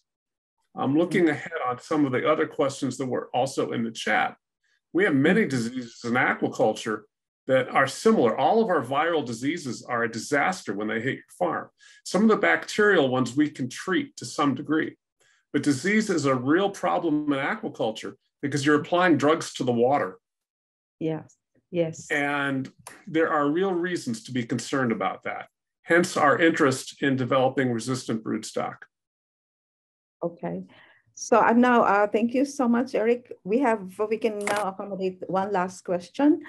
Uh, I think this is for uh, Jukka. Uh, when the gene from other species has been transferred to the surrogate mother, does the gene can inherit some characteristics from its surrogate mother? Is that possible? Just like in humans. no, the, the, the, what they transfer in the male side is the is in the paternal line that they are transferred. So is the is the spermatogonium. So it will be the yeah. So it will be the the genetically the the father will be a different one. This yeah. It comes with the behavior there will be some of the behavior that is learned with the environment or with the growing animal but some that is genetically encoded as well. So there will be a little bit of mix there. Okay. Uh, can we have your last words before we move for a break uh, can you can start with uh, Carl on on your last or your important key message related to your talk I don't have any key, messages really, all other than that. Um, there are there are many, but I think you know this. The, the, the purpose of this workshop is to see some of the opportunities that are coming, uh, and in the next session we're going to learn about you know how we're applying some a lens to ensure that those products meet the social acceptance in terms of their safety. Um, and I think that'll be really important for people to to think about some of the opportunities and then now see what's actually in place to ensure that the food that comes out the other end is safe. Yeah, right. Uh, Eric, that's correct. Okay. Um, in my sector, um, genome modification offers some really attractive options for breeding. Um, and my sector may lead, again, in terms of bringing a product to market before others. What I would add to that is that risk management has to be part of how we approach the marketing of these products. Just the way AquaBounty, Aqua Bounty did with its genetically modified salmon, they would do mm. with their genome edited tilapia. Yeah. And Jukka? Uh, one of the highlights that I like was the, the, how to, to generate impact in the whole industry using from, from the gene editing in the livestock. And because this is a, is a long path, so we have to translate this into a herd improvement, which is, is easier said than done and, uh, and goes through many, many steps. The regulation is just one of them. So I think will be interesting to hear the next, the next session there that we start the, the discussion on the regulation process there. Okay. Uh, since uh, we're really out of time, I think we will pass the bio break and proceed to the next session. And now I'd like to pass over the moderatorship to Mark Tizard, who is with us now. Uh, he, Mark Tizard, please introduce yourself and then we can proceed for session three. Is that Hi, uh, thank you very much, Ola. And uh, yeah, that was a, a, great session. I think um, we're likely to have some more really good questions cropping up during uh, this particular session. Um, so yeah, we're now going to hear um, a little bit more about leading into the, the space around um, regulation as as it's happening, and um, and also you know looking at the developments coming forward.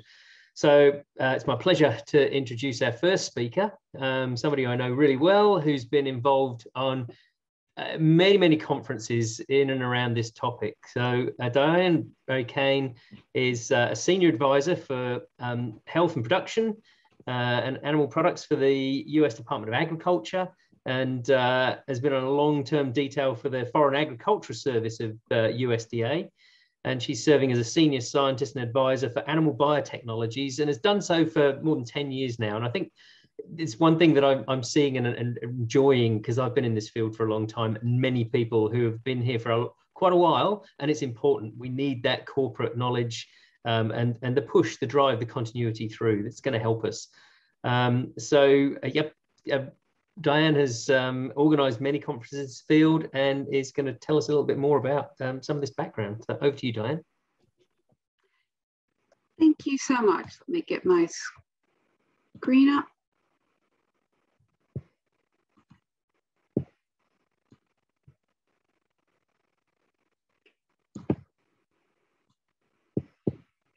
Okay, and um, is my, can everyone see my screen, Mark? Yep, perfect. Great. Well, thank you so much, Mark, for the kind introduction and hello, everyone. It's a great pleasure to have the opportunity to speak to you today about the role of regulatory approaches for encouraging innovation in animal agriculture. And I only wish that we could all be together in person. Today, farmers around the world face unprecedented challenges, and we need to be better prepared to combat climate change and emerging, emerging disease threats while increasing agricultural production and reducing both our footprint on the land and the resources needed to produce more food. We need to commit to transforming agriculture and making it more resilient. And as noted by the previous speakers, access to biotechnology tools such as genome editing could enable animal scientists to solve agricultural challenges and to address the threats both more quickly and also more sustainably. As described in earlier talks, there is a diversity of traits that have been introduced via biotechnology. And there's a potential for many more, many traits being developed focused on disease or pest control, potentially reducing the need for antibiotics or insecticides, as um, was mentioned recently in the responses that Eric had. Um, other traits target reducing the environmental footprint of animal agriculture and mitigating the impacts of climate change while creating more resilient animals. Others improve animal welfare, and there are also the potential to create healthier and safer food products and to improve animal production and efficiency, which can also help make animal agriculture more sustainable. The promises and opportunities are many, but whether they are realized depends on the regulatory processes in place. The regulatory approach that a country chooses is really analogous to a toolbox, determining what tools are available to their animal breeders and farmers. And we want to make sure that the best selection of tools in the, are in the animal breeding toolbox, both old and new, to address the challenges that we face. Regulations serve multiple roles. First, and of course most importantly, is to protect the health and safety of humans, animals, and the environment. They also help to instill public trust in our food supply. In addition, effective regulatory approaches also encourage innovation. Regulations and regulatory approaches should be science-based and risk proportionate. They should also be defensible and credible to the public who, as we know, may have non-scientific or values-based concerns. If regulatory processes are to encourage innovation, they must be both timely and predictable. In addition, they should be appropriate for their intended use. Transparency is needed both to encourage innovation and also to instill public trust. For regulations to be truly effective, they must not only protect humans, animals, and the environment, but also allow for safe products to be used by farmers and the public. This is easier when regulatory approaches are harmonized amongst trading partners. Codex guidelines have proven useful for standardizing food safety assessments and therefore facilitating trade in foods derived from biotechnology. To help facilitate harmonized regulatory approaches for biotech animal products, Codex guidelines for food safety assessments of foods derived from recombinant DNA animals were developed in 2008, with the key elements for assessment being the nature of the rDNA construct and its expression, the health status of the rDNA animal, and the composition of food products produced. Since that time, a number of countries have developed regulations for transgenic animals containing rDNA constructs. There is no one best approach, and different countries have developed different effective regulatory approaches.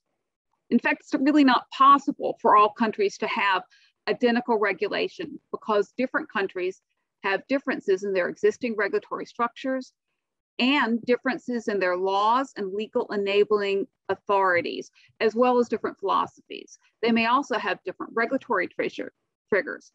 For instance, either product-based like Canada with their novel foods approach, or process-based as with GMO laws. Countries may have oversight by different regulatory authorities or ministries, and some have shared oversight by multiple ministries or even multiple countries, such as with Australia and New Zealand for food safety. That said, and giving credit to Codex, although there are differences in regulatory frameworks within different countries, there has been general agreement as to what is needed for evaluations and therefore um, similar requirements for rDNA or GMO products. As Carl mentioned earlier, there are some transgenic animals on the market, including many biomedical models and the glowfish, which now make up about 15% of the US pet fish market.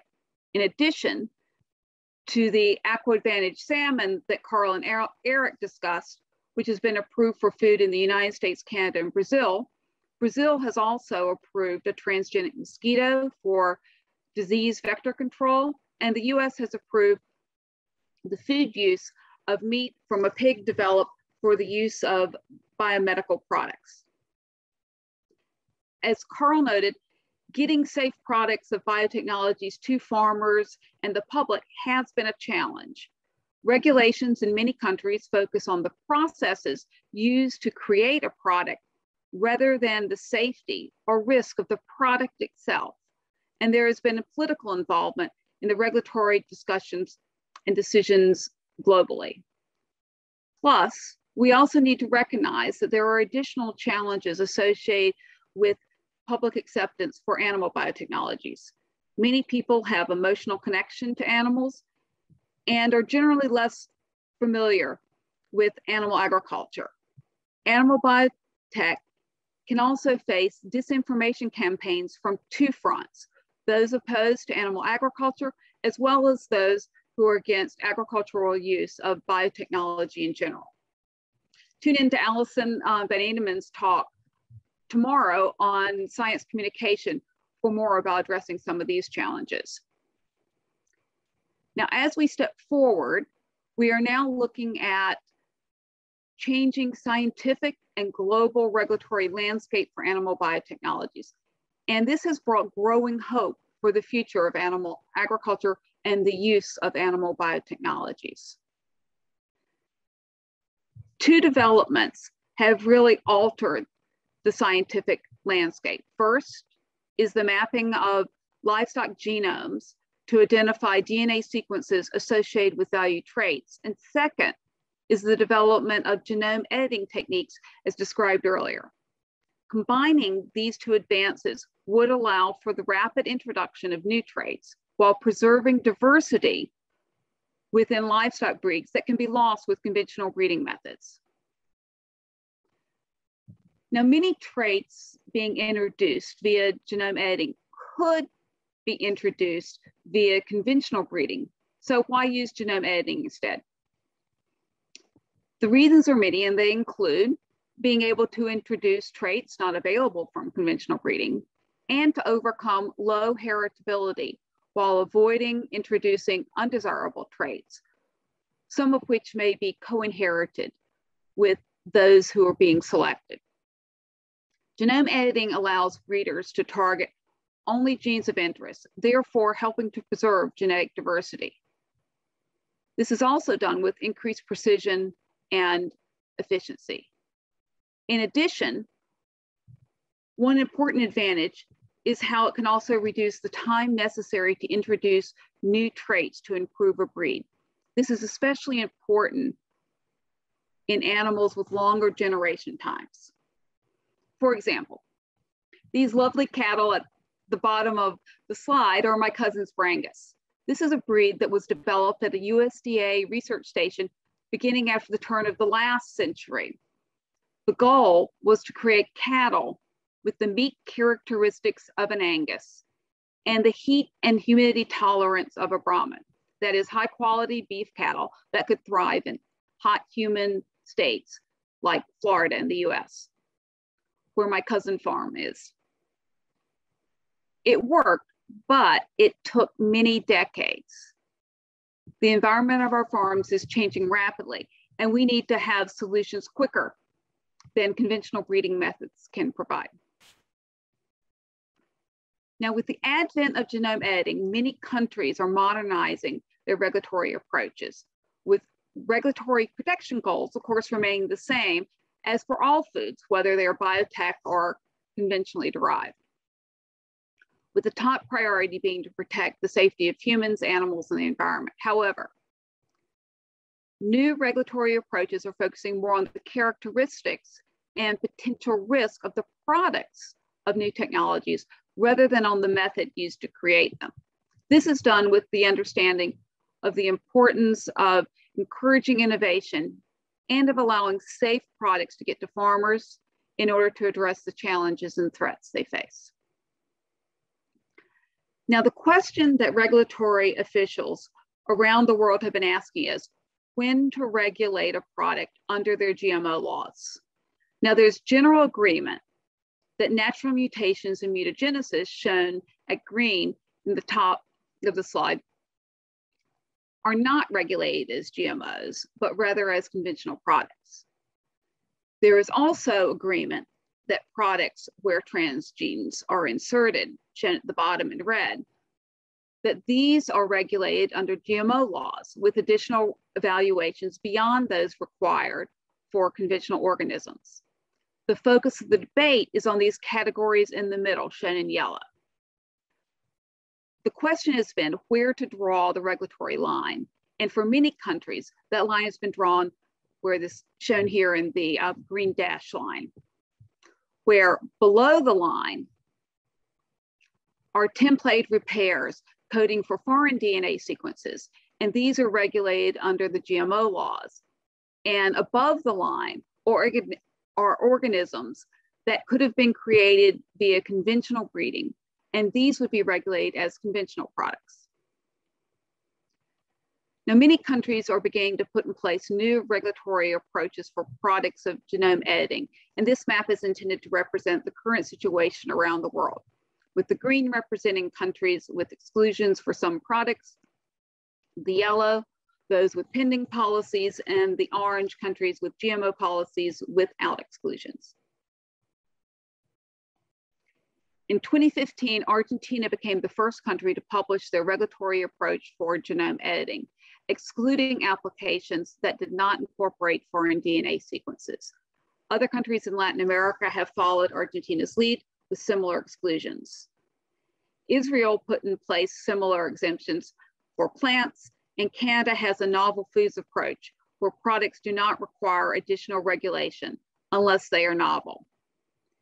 In the United States, USDA APHIS published a new biotech rule for plants last year, exempting certain genome edited products. But the approach for food animals here is still under review. And Australia is currently also reviewing, um, is in the process of reviewing their biotechnology codes. And in the meantime, they have exempted some deletions. Norway has proposed a tiered approach, while courts in Europe and New Zealand have made rulings saying that as their current GMO regulations are written, genome edited products cannot be exempted from their GMO regulations. Last year, both Japan and Nigeria finalized their rule, which are generally in alignment with those in Latin America. Other countries are also developing draft policies proposing potential exclusions. Now, many countries with GMO laws have been adopting approaches similar to those of Argentina.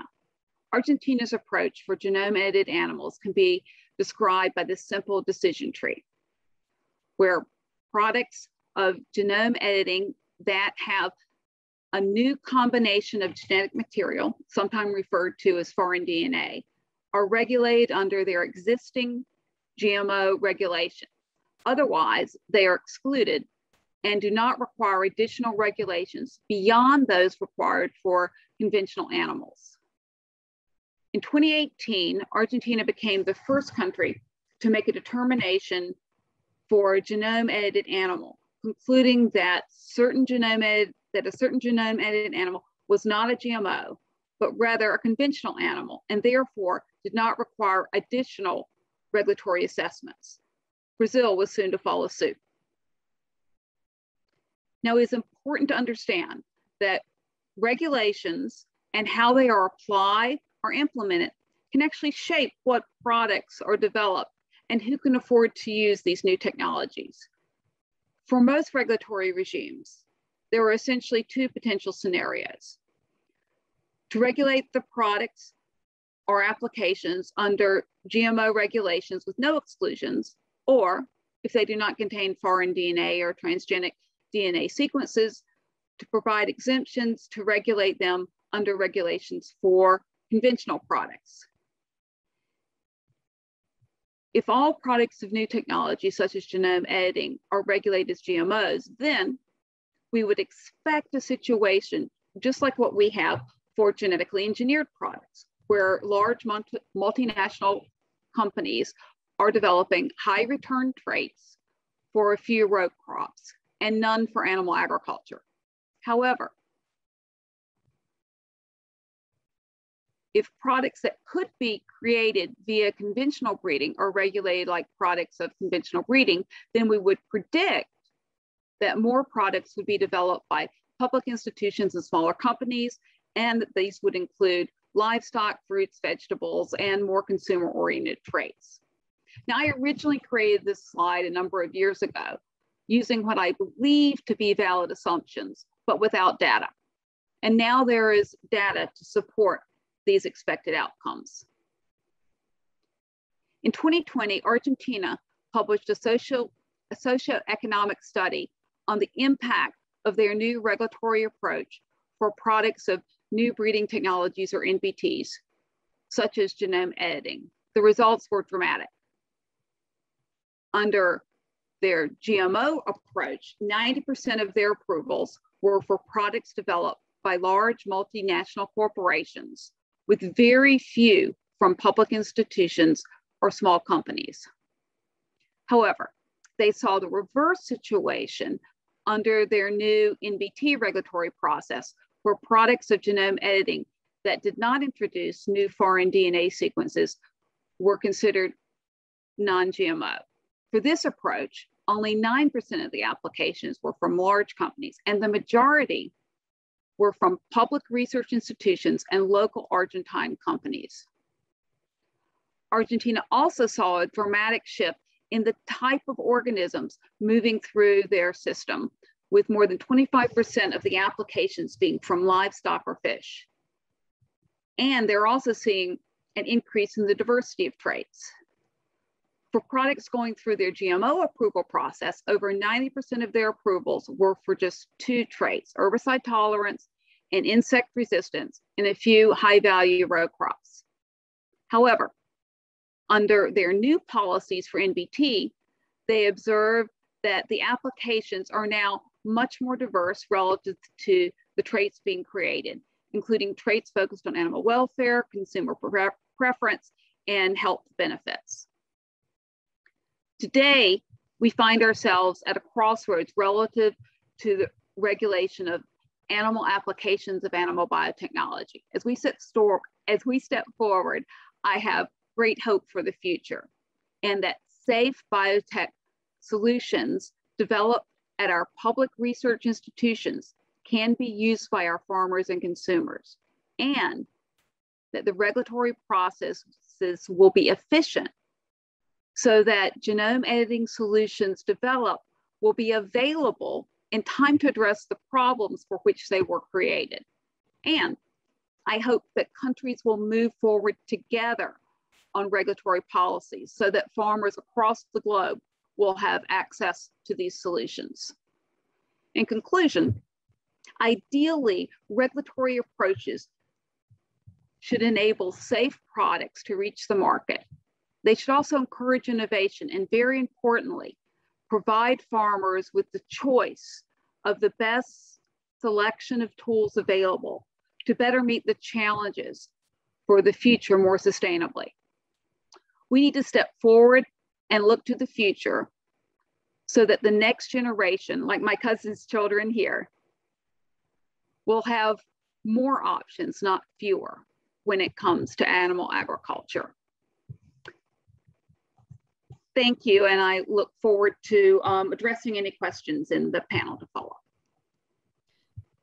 Diane, that's fantastic. I, am so used to you being an organizer and a chair and not seeing you present, and that, that was really thought-provoking and a great framework for us to approach this second part of the, the workshop, the remains of today and, and tomorrow when we're going to hear more about some of the, the, the, the policy and the regulation uh, sitting around this. Uh, I'll just quickly um, shout out to people, if you have questions, remember in the middle of your screen at the bottom, there's a Q&A section, please put them in there. Some things are coming up in, in the chat line, but uh, easy to manage the questions there. I'm sure there'll be questions for Diane. Thank you so much.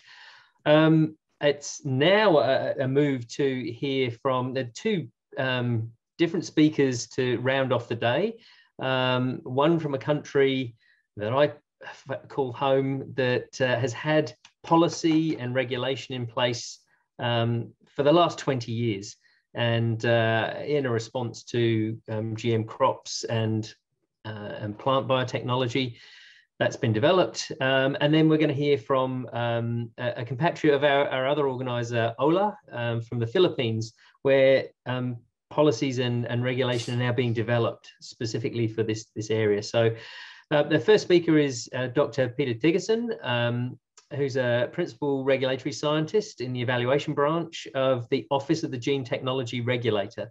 That's an agency under the Department of Health um, for the federal government of Australia. Uh, I've known Peter for many years also, um, so disclaimer there. Uh, and um, uh, we've listened to each other. Uh, there's been a lot of discussion backwards and forwards. I have to say the regulators here in Australia are very good in terms of open communication, uh, discussion, and, and giving good feedback. Um, so without further ado, um, Peter, over to you. Okay, I'm unmuted, I think. Um, and the laser pointer is working. Yep. So Presentation's up. Perfect. I'll, I'll dive straight in. Um, I'm going to cover some ground which is very similar to that that Diane covered. Uh, you might say this is a different view of a different facet of the diamond or of whatever the object is we're looking at. I'll start up right up front. My key message that I would like people to take away from this is to be very clear about the difference between legal and scientific definitions. Um, I'm going to give you some background about genome editing and regulation and bit of discussion about definitions and principles. I'm also going to give uh, a viewpoint or a, a, view on the global state of play and its implications. And we're going to talk about Australia's uh, experience with genome editing.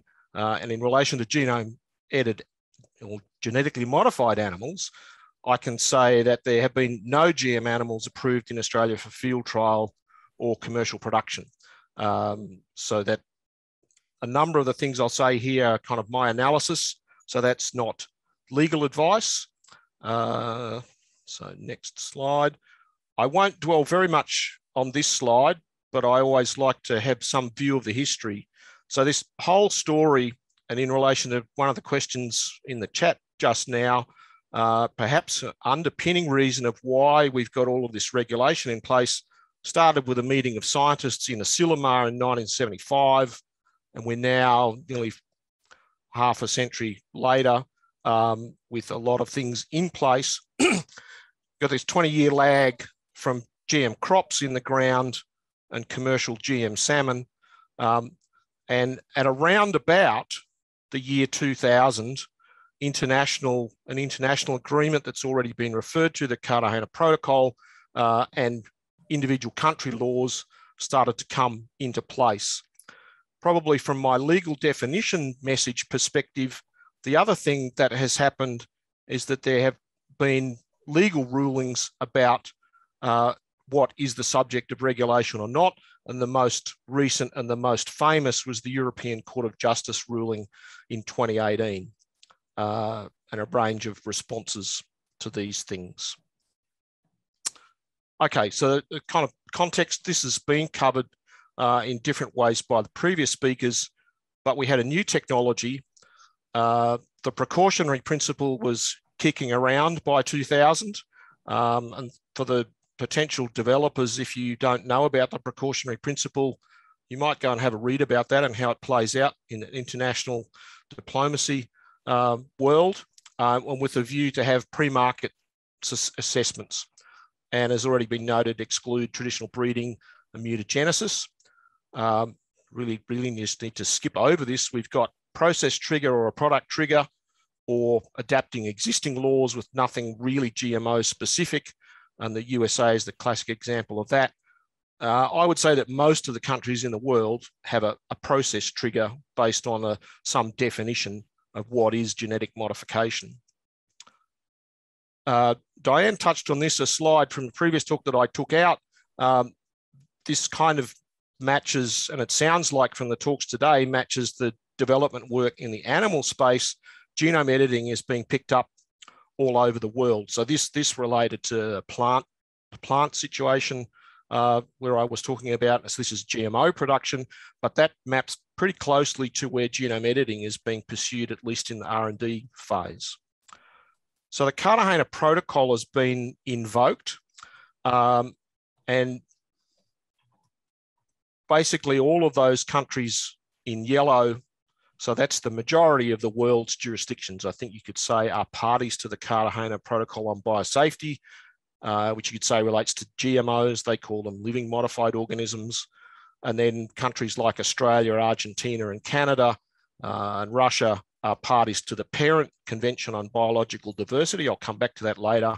Uh, and the US and a couple of others are not uh, parties to the convention and therefore not to the protocol.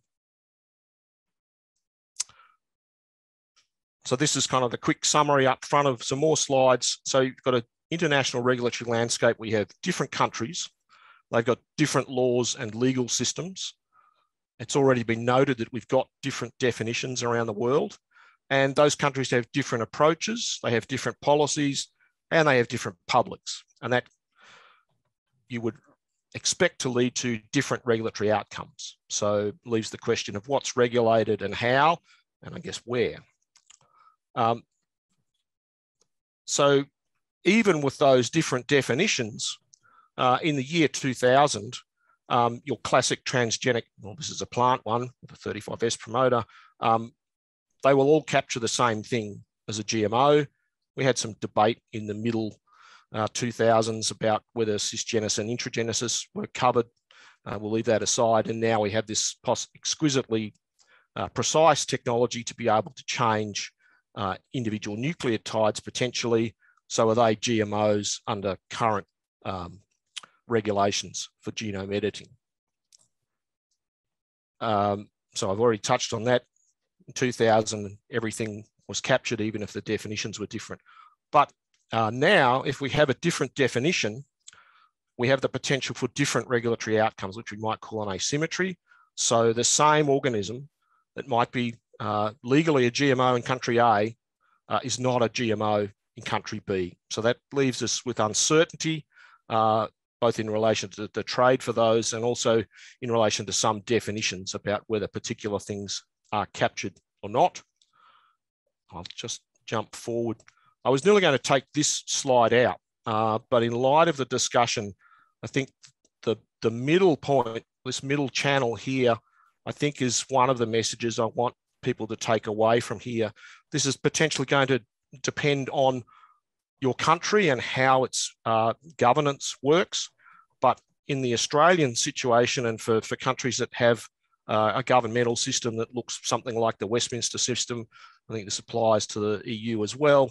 The governments make laws. They define what's going to be regulated and they give those to the regulators to administer the laws. So there's been several uh, uh, speakers mention that we'll ask the regulators. Um, well, in terms of making the laws, we don't make them. Uh, we just administer what we're given. And ultimately, courts uh, in that type of jurisdiction will adjudicate the laws. They will ultimately decide what is and what is not regulated. This is not special to GMOs or gene technology. This happens for all sorts of things which are subject to legal regulation. I will jump forward to the next slide, which also illustrates those things. And if you're making laws or amending laws, a whole range of things which have all been referred to already today go into the making of the legislation. Um, so what's the science? What are the risks? What are the societal protection goals? What, what is it that view as important? What are the societal values which plug into that? But elaborating on this theme, once the laws are made, uh, it's all about the legislation. And so you have to have a fair and equitable application of those laws, and you have to be consistent for compliance. And you can't interpret laws along the lines of this is what it meant to say. The terms of scientific art have changed since then. The law is set as it was made. And equally, you can't say this is what it should have said. So, take home message from there is in your jurisdiction or a jurisdiction where you think you will be a trading partner, you need to understand uh, what their law is at that particular point in time. Just run over this very quickly. So, uh, Mark's mentioned the Australian regulation for GMOs. Uh, this talk is mostly about GMOs. I know that my colleague Lisa Kelly is talking about food tomorrow. These definitions were set very broadly um, in line with that precautionary approach, I think you could say. So any an organism modified by gene technology, very broad capture, some things are excluded, and gene technology is also defined very broadly. Uh, process trigger and the regulations that sit under the Act uh, have some inclusions and exclusions. And we'll get to that in terms of genome editing in a little while. Um, Diane showed a map of the world and where uh, regulations were moving. Um, I'm showing another one. And the point I want to make here is once again on this theme of legal definitions versus scientific terms of art or of um, Oh, fabulous. Um, hopefully that's going to save my computer. Um, this is for plants, but to illustrate the point that it's, if you're talking about the law, it's important to go to the law. So this publication suggested that uh, genome edited crops are not regulated as GMOs as a flat statement. However, the truer statement is that some genome edited crops or some genome edited organisms would not be regulated in Australia, but some are. So you have to take care at looking at uh, someone else's uh, analysis of a legal system, particularly if they're not lawyers. The Cartagena Protocol and Codex definition has been invoked. I won't go through this. Really, the point of popping this slide up is just to illustrate that this definition exists. Um, I think there's going to be some debate, that's my personal view, in the future of what the definition means, uh, but you have got recombinant DNA uh, in that arm of what is modern biotechnology. Uh, I've touched on this, so we've had European Court of Justice decision. The New Zealand High Court decision went a little bit unnoticed, but with a very similar outcome. Um, and I think Diane has covered eloquently uh, the approaches being taken by other countries. And I'll just note, um, I'm not going to go into this anymore, but synthetic biology is a hot topic of discussion in the Convention on Biological Diversity. And there are ongoing debates about that. And in the discourse about that, all sorts of things are being sucked into the, the vortex of what is synthetic biology. Um, from an Australian regulatory perspective, we would not say that genome editing is synthetic biology in the terms that anyone's discussing here today, but uh, it is being sucked into those discussions. Uh, CRISPR gets mentioned, uh, and so it gets lumped into the discussion. So something to be aware of uh, that may have some uh, interplay with the Cartagena protocol. Watch this space. Okay, this slide looks similar to the one that Diane showed you. So this is the exclusion uh, in relation to genome editing in Australia currently. Uh, so if you have a change made by site-direct nuclease where no template uh, instructions for repair are given, the actual technology is classified as gene technology, but those organisms are excluded as not GMOs. And SDN2 and ODM, um, they would be captured as GMOs in the Australian context. Also note that there's a policy review which has been underway for some time and the point to note is that that work is ongoing. Uh, what's called a consultation regulatory impact statement was published late last year um, with some indications of options for changing definitions. And I won't go into that at all, except to say uh, what's proposed in there is at a much higher level than, for argument's sake, the exclusion of SDN2.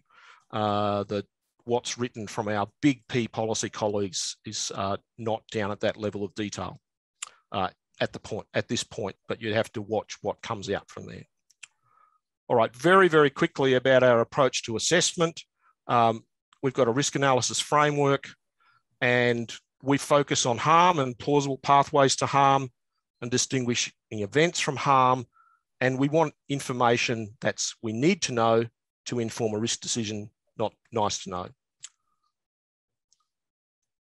That environmental assessment uh, considers the biology of the parent, the trait, the receiving environment, and that's drawn from OECD.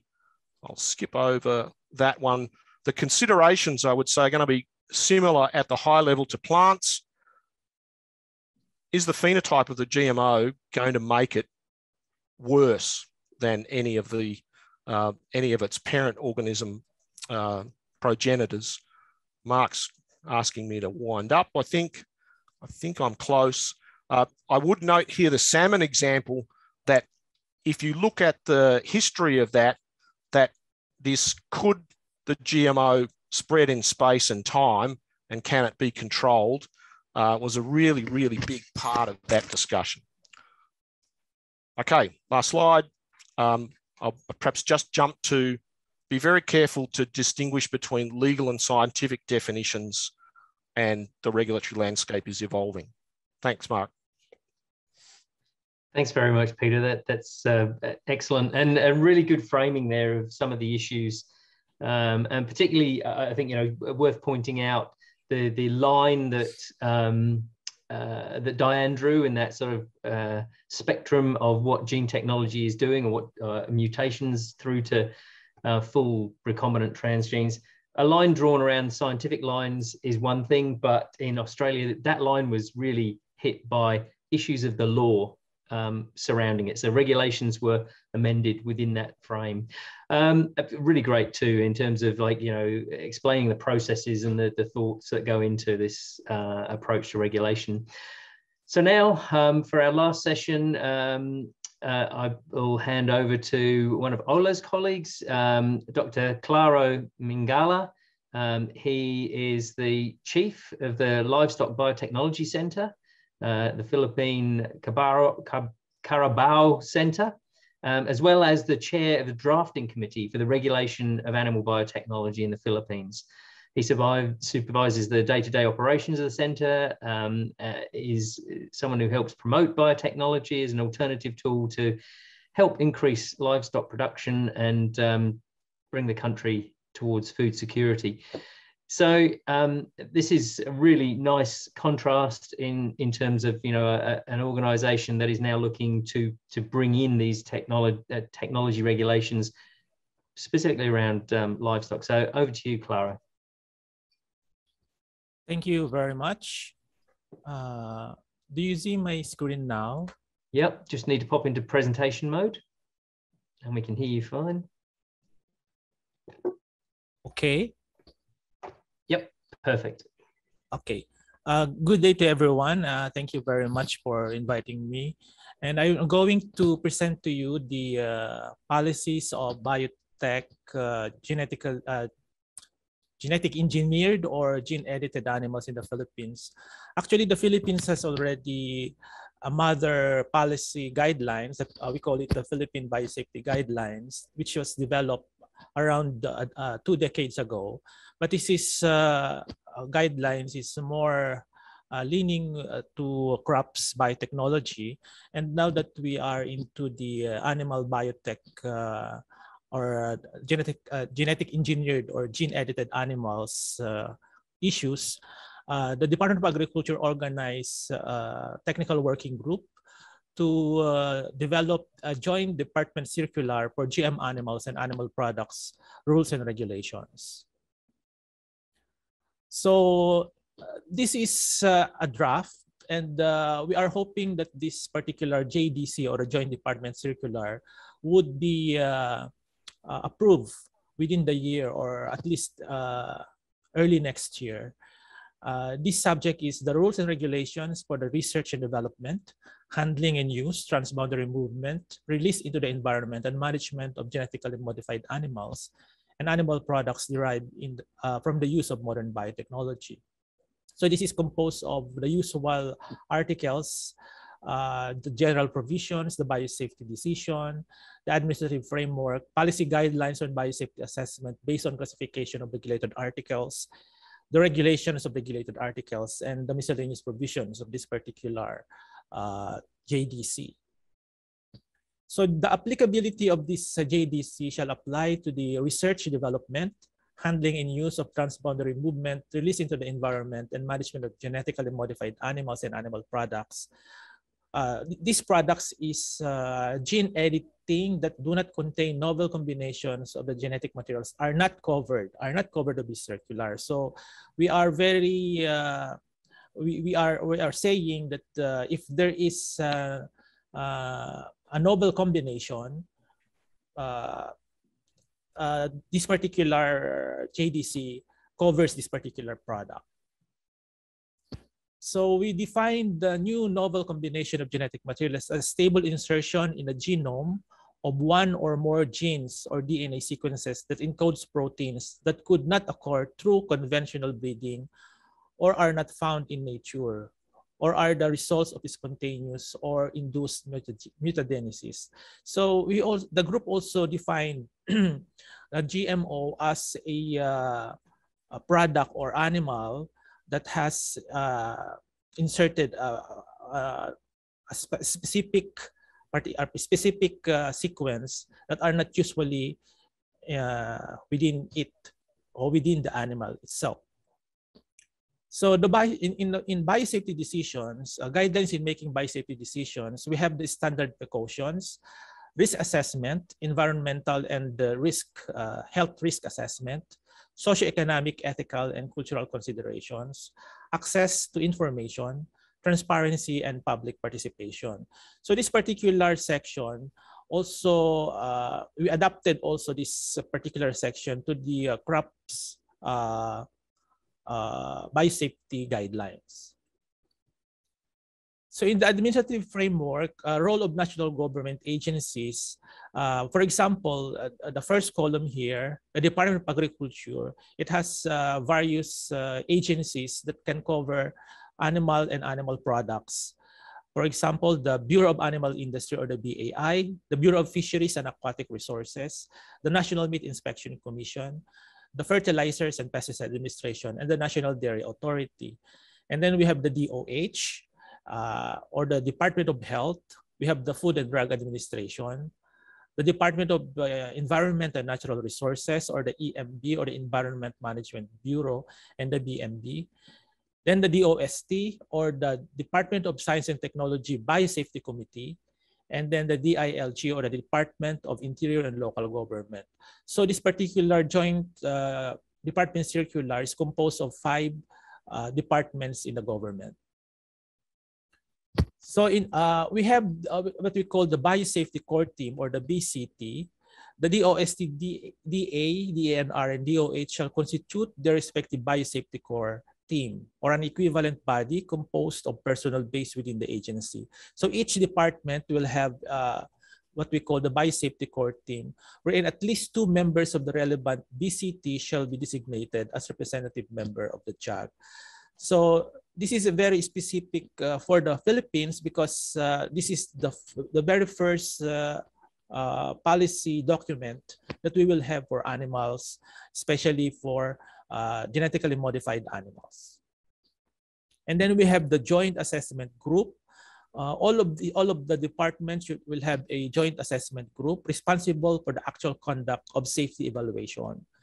So the, the joint assessment group shall facilitate the drafting and finalization of its recommendation documents for submission to the Bureau of Animal Industry and Bureau of Fisheries and Aquatic Resources Director. So we have uh, very distinct bureaus uh, for the terrestrial, terrestrial and aquatic animals and will approve or deny the issuance of the biosafety permit for those developers.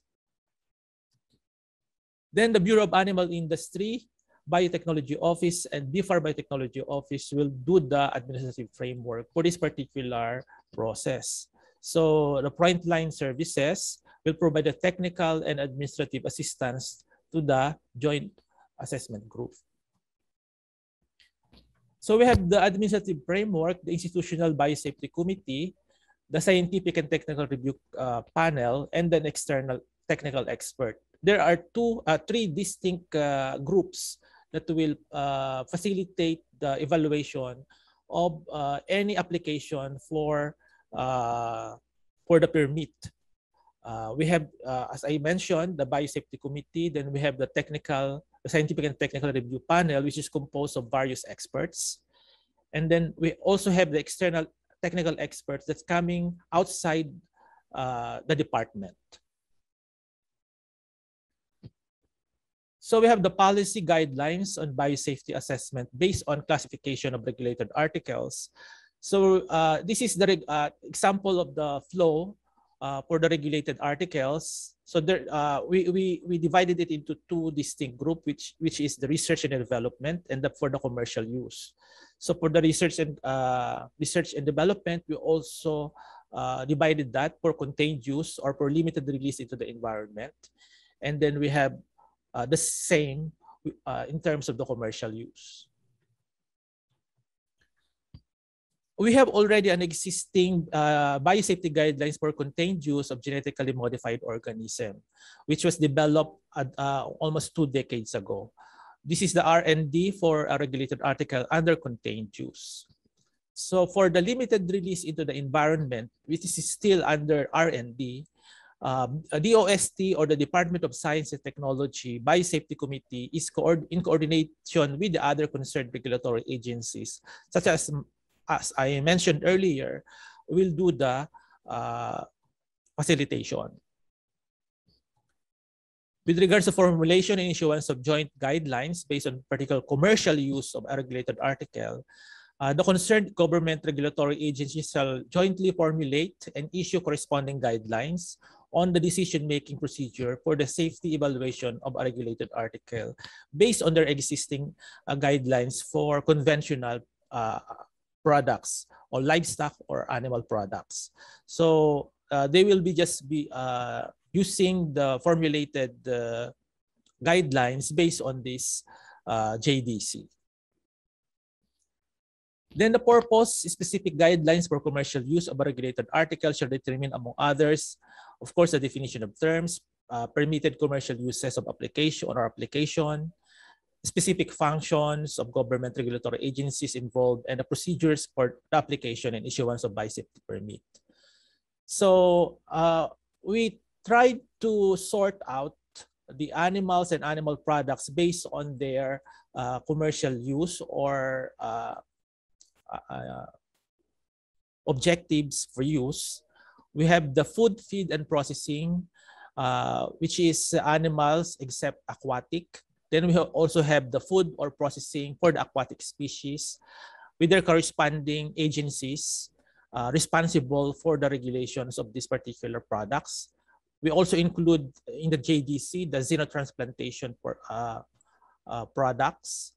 We have the uh, bioreactor, medicinal and pharmaceutical, and then bioreactor for industrial purposes. We, we also include pets, terrestrial pets, and ornamental aquatic species, and others that can be identified later on. Uh, similar to the concerned regulatory agencies on the commercial use of a regulated article to general release into the environment, uh, we also sorted according to the purposes. So food, feed, and processing, food or processing for aquatic species, biocontrol, biocontrol for human health, household, and industrial uses, animal disease control, and others. It's just that uh, we, we have uh, an issue with regards to the GM mosquitoes that we are now uh, uh, analyzing which agency shall shall uh, regulate this particular uh, GM product. Because the GM uh, the mosquitoes are used to regulated by uh, the Department of Environment and Natural Resources, but there is also a point there that since this particular GM mosquito shall be used for the control of dengue or any viral diseases for public health, uh, there is an issue also that the Department of Health should handle the regulations of this particular GM mosquito.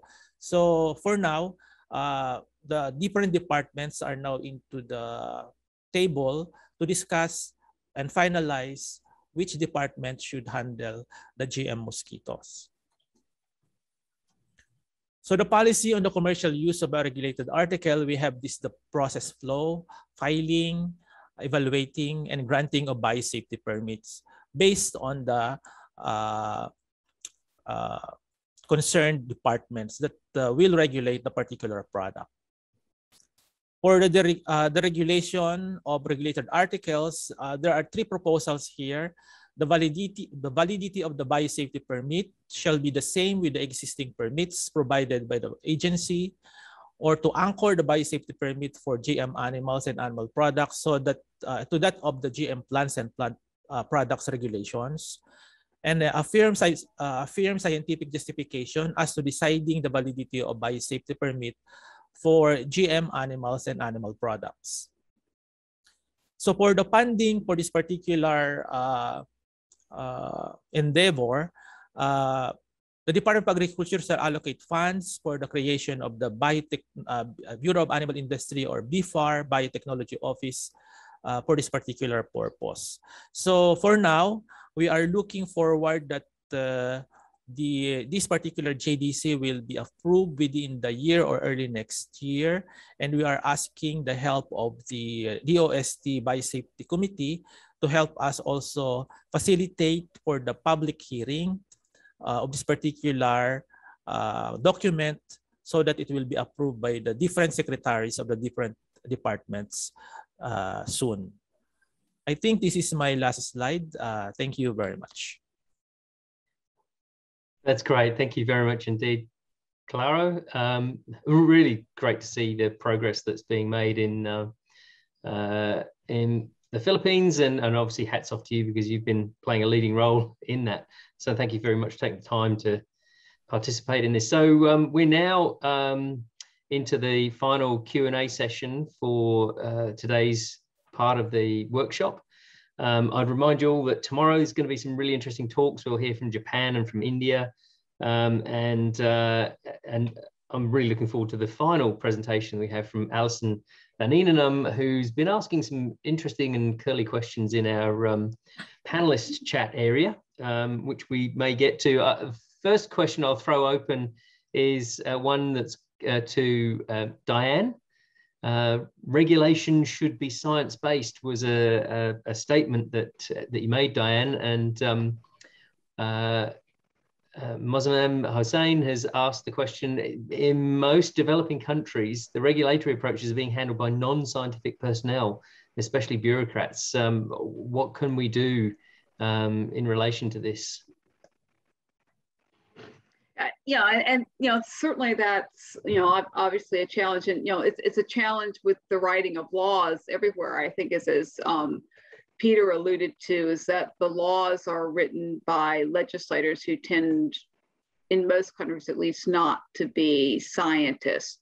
Um, but the regulations and how they are implemented um, are done more by the the regulators writing them themselves. And so, you know, one thing for developing countries is to partner with other countries, be they, and there are developing countries who have put in place effective regulatory approaches that allow for these products to reach commercializations and, and so to, to partner with them, um, those that have similar laws to be able to um, move forward and help in the development of their own. Yeah, I, I, wonder. I mean, like it, just the, the period of time I've been involved, it appears that uh, countries in which more scientists are involved in that um, discussion around setting policy, you get more progressive and perhaps um, more informed policy settings happening. I wonder if Peter um, would be happy to make any comment from his point of view you just recap what you want me to comment on, Mark? Sorry. Oh, yes. So that just around the issue of, um, and I think it was really sort of perhaps a riposte to Diane. About saying, science, you know, science-based regulation? Yeah, because um, we, we certainly have a situation in Australia where the, the, the um, and I, I see it and experience it even with some of the work that we do. You need contract lawyers to write contracts because they write in a language that is different to our scientific language. Hence, it's lawyers that are writing the laws, but then ultimately, um, as Diane pointed out, it's, it's, scientists like yourself who actually are involved in the regulatory process to be able to understand. So I, I think maybe I'll make a distinction between, um, uh, and I, I won't speak for, for Lisa from the food side, but uh, we have an influence at the regulations level, but in terms of them being drafted, but they're still uh, basically not completely in our control to write, but we're, I think perhaps uh, there's a distinction here between the US system in terms of the top level law and the lack of prescription in that, in the Australian situation where the top level law, those definitions are quite prescriptive. Um, and I think it, it's a challenge in all sorts of areas, as you both alluded to, of legislators or the officials who are in charge of developing policy, doing the consultation to be across the issues. This, this is a, a personal observation. I think there is a, a high degree of precaution about, about these things, and you can look at what happens with some of the policy debates and the debates which are going on with respect to COVID at the moment. Uh, the things which are in the public discourse are not always science based. And I think that's almost unavoidable. And uh, someone may talk about this tomorrow, but but another aspect to probably avoid in the discussion with stakeholders is falling into the deficit model.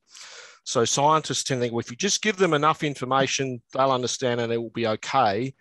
But the the social reactions to these new technologies, which may be inflamed by other interlocutors, um, don't actually often relate to the science per se. They relate to their values systems.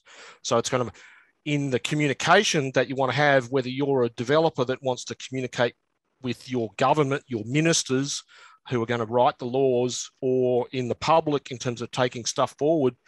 I guess the key thing is to remember that understand what the audience is that you're seeking to influence. Um, yeah, I'll, I'll probably leave it leave it there. No, that's great. Science um, communication um, is definitely key. And yeah, it's just, it, it's something that we need to continue to work on and improve. Yeah, absolutely. I think um, all of us that are involved in the field would, would agree with that. Uh, I wonder if um, Claro wants to also make a comment in that space because it seemed that um, there, there is a, a, good introduction of um, uh, of scientific input into the process going on in the Philippines. Yeah, of course. Uh, we also have uh, this kind of problem or issues in the Philippines, but we we make sure that we always have a lawyer with uh, within us when we do the drafting of the policies. And we are also very thankful, of course, uh, with with the the ISA, especially when they uh, organize a kind of the seminar for the legislators. So we make sure that uh, those legislators would also understand the what we are coming from, especially science-based approaches. Thank you. Yeah, that's great, Claro.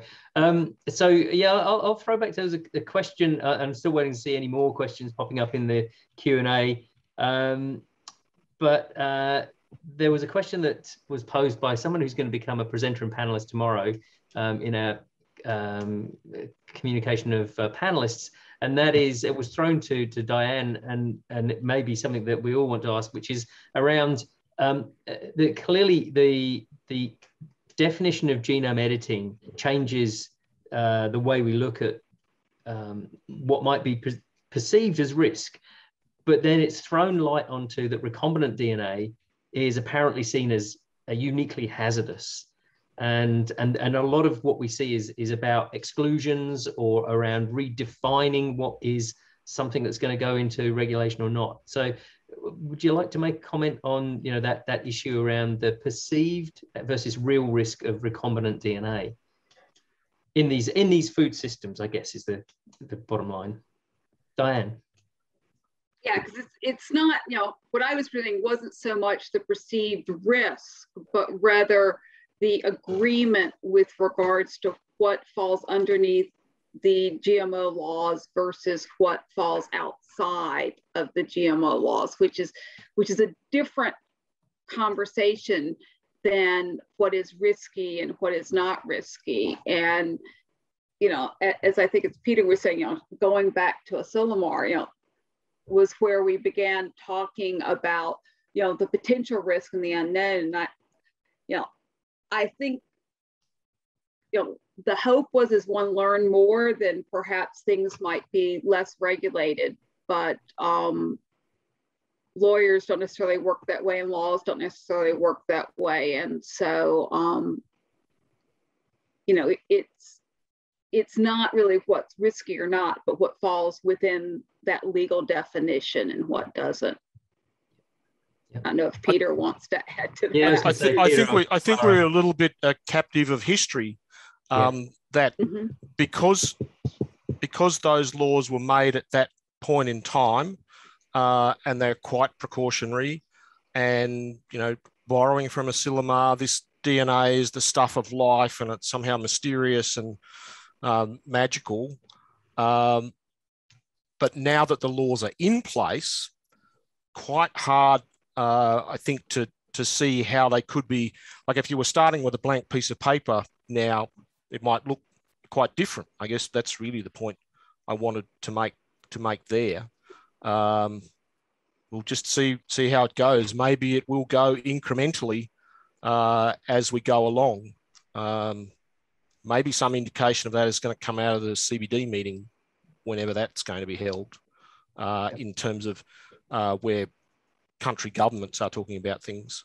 Like uh, completely, I, I know that sustainability was mentioned uh, in the first uh, part of the webinar today, and I wonder whether there might be some intersection of the uh, sustainability development goals and these technologies as that have been discussed in terms of how they how they might contribute to those from our regulatory perspective in Australia that that's not going to change how I do anything uh, in in my office but in that bigger policy debate maybe they will have um, some place in the discussion Yep. Yeah, and I think no, one of the very... challenges, sorry, I think one of the challenges there is also with the public perception. Yes. And it's sometimes difficult for laws to move when before public perception moves. Yeah. Yeah, absolutely. And I think that's again a, onus on those of us in the field to, you know, up the ante with the, the clarity of communication um, and getting that getting out there and getting the message out. Uh, also, just thought I'd like swing back onto something that Peter mentioned in his presentation, which is, and I said, you know, it's a little bit of a thing that I'm passionate about. It's path to harm. You know, the issue here is uh, perceived path to harm because you put that word recombinant DNA, uh, novel combination, and that immediately, well, then there's a path to harm. But you, you still need to look at and examine, well, what is the, the, what's the mechanism? What are the steps in the path to harm? What are we? What's the risk we're trying to mitigate by this? And notwithstanding that, ultimately we've got to be be able to tell the public this is safe, and this is why we know it's safe. So. Um, uh, I wonder if Claro wants to make any final comments on that, and we'll, we'll need to wrap up and take our questions to tomorrow after this. So, yeah, uh, I think it's still fallen under the good science communication. You know, it's it's not the no difference with the one that we have now with regards to the COVID vaccines. you know, everybody is, you know, almost half or uh, half of uh, the population is uh, very much afraid of taking the the vaccine because they don't know exactly what what's in it or it would give them harm. It's also similar to what we have uh, in these uh, uh, issues uh, particularly the GEA and the genetically modified uh, uh, animals. So it's just that we need, we need to base scientifically our explanation and how we will convey the message to them clearly, not very highly technical, but what they can perceive yes, it's, it's not uh, traditional, unconventional, but uh, we need this because we want uh, to have food sustainability in our tables. Thank you. That's great. Um, so look, uh, it's a really good note to, to finish on the importance of, of good communication. And I would just say thank you to um, to the speakers that I've uh, had to look after in this second session. Great communication there of, of all the issues. And I think the same goes for the, the beginning session that um, was uh, moderated by Ola. Um, fantastic communication throughout, and I think we will have a really great session again tomorrow. We'll meet at the same time tomorrow on the same link, and we will um, actually finish up with someone who is is right up there in terms of um, uh, science communication. So, but there's some great ones in between. So please tune in early tomorrow. Um, Ola, I don't know if you wanted to say any more. You seem to have your hands full there. Um, a little beautiful image for us to take away. Um, if there's no, nothing, nothing else, else I, yes, I just want to say thank you for all the panelists that have joined us this today and your session.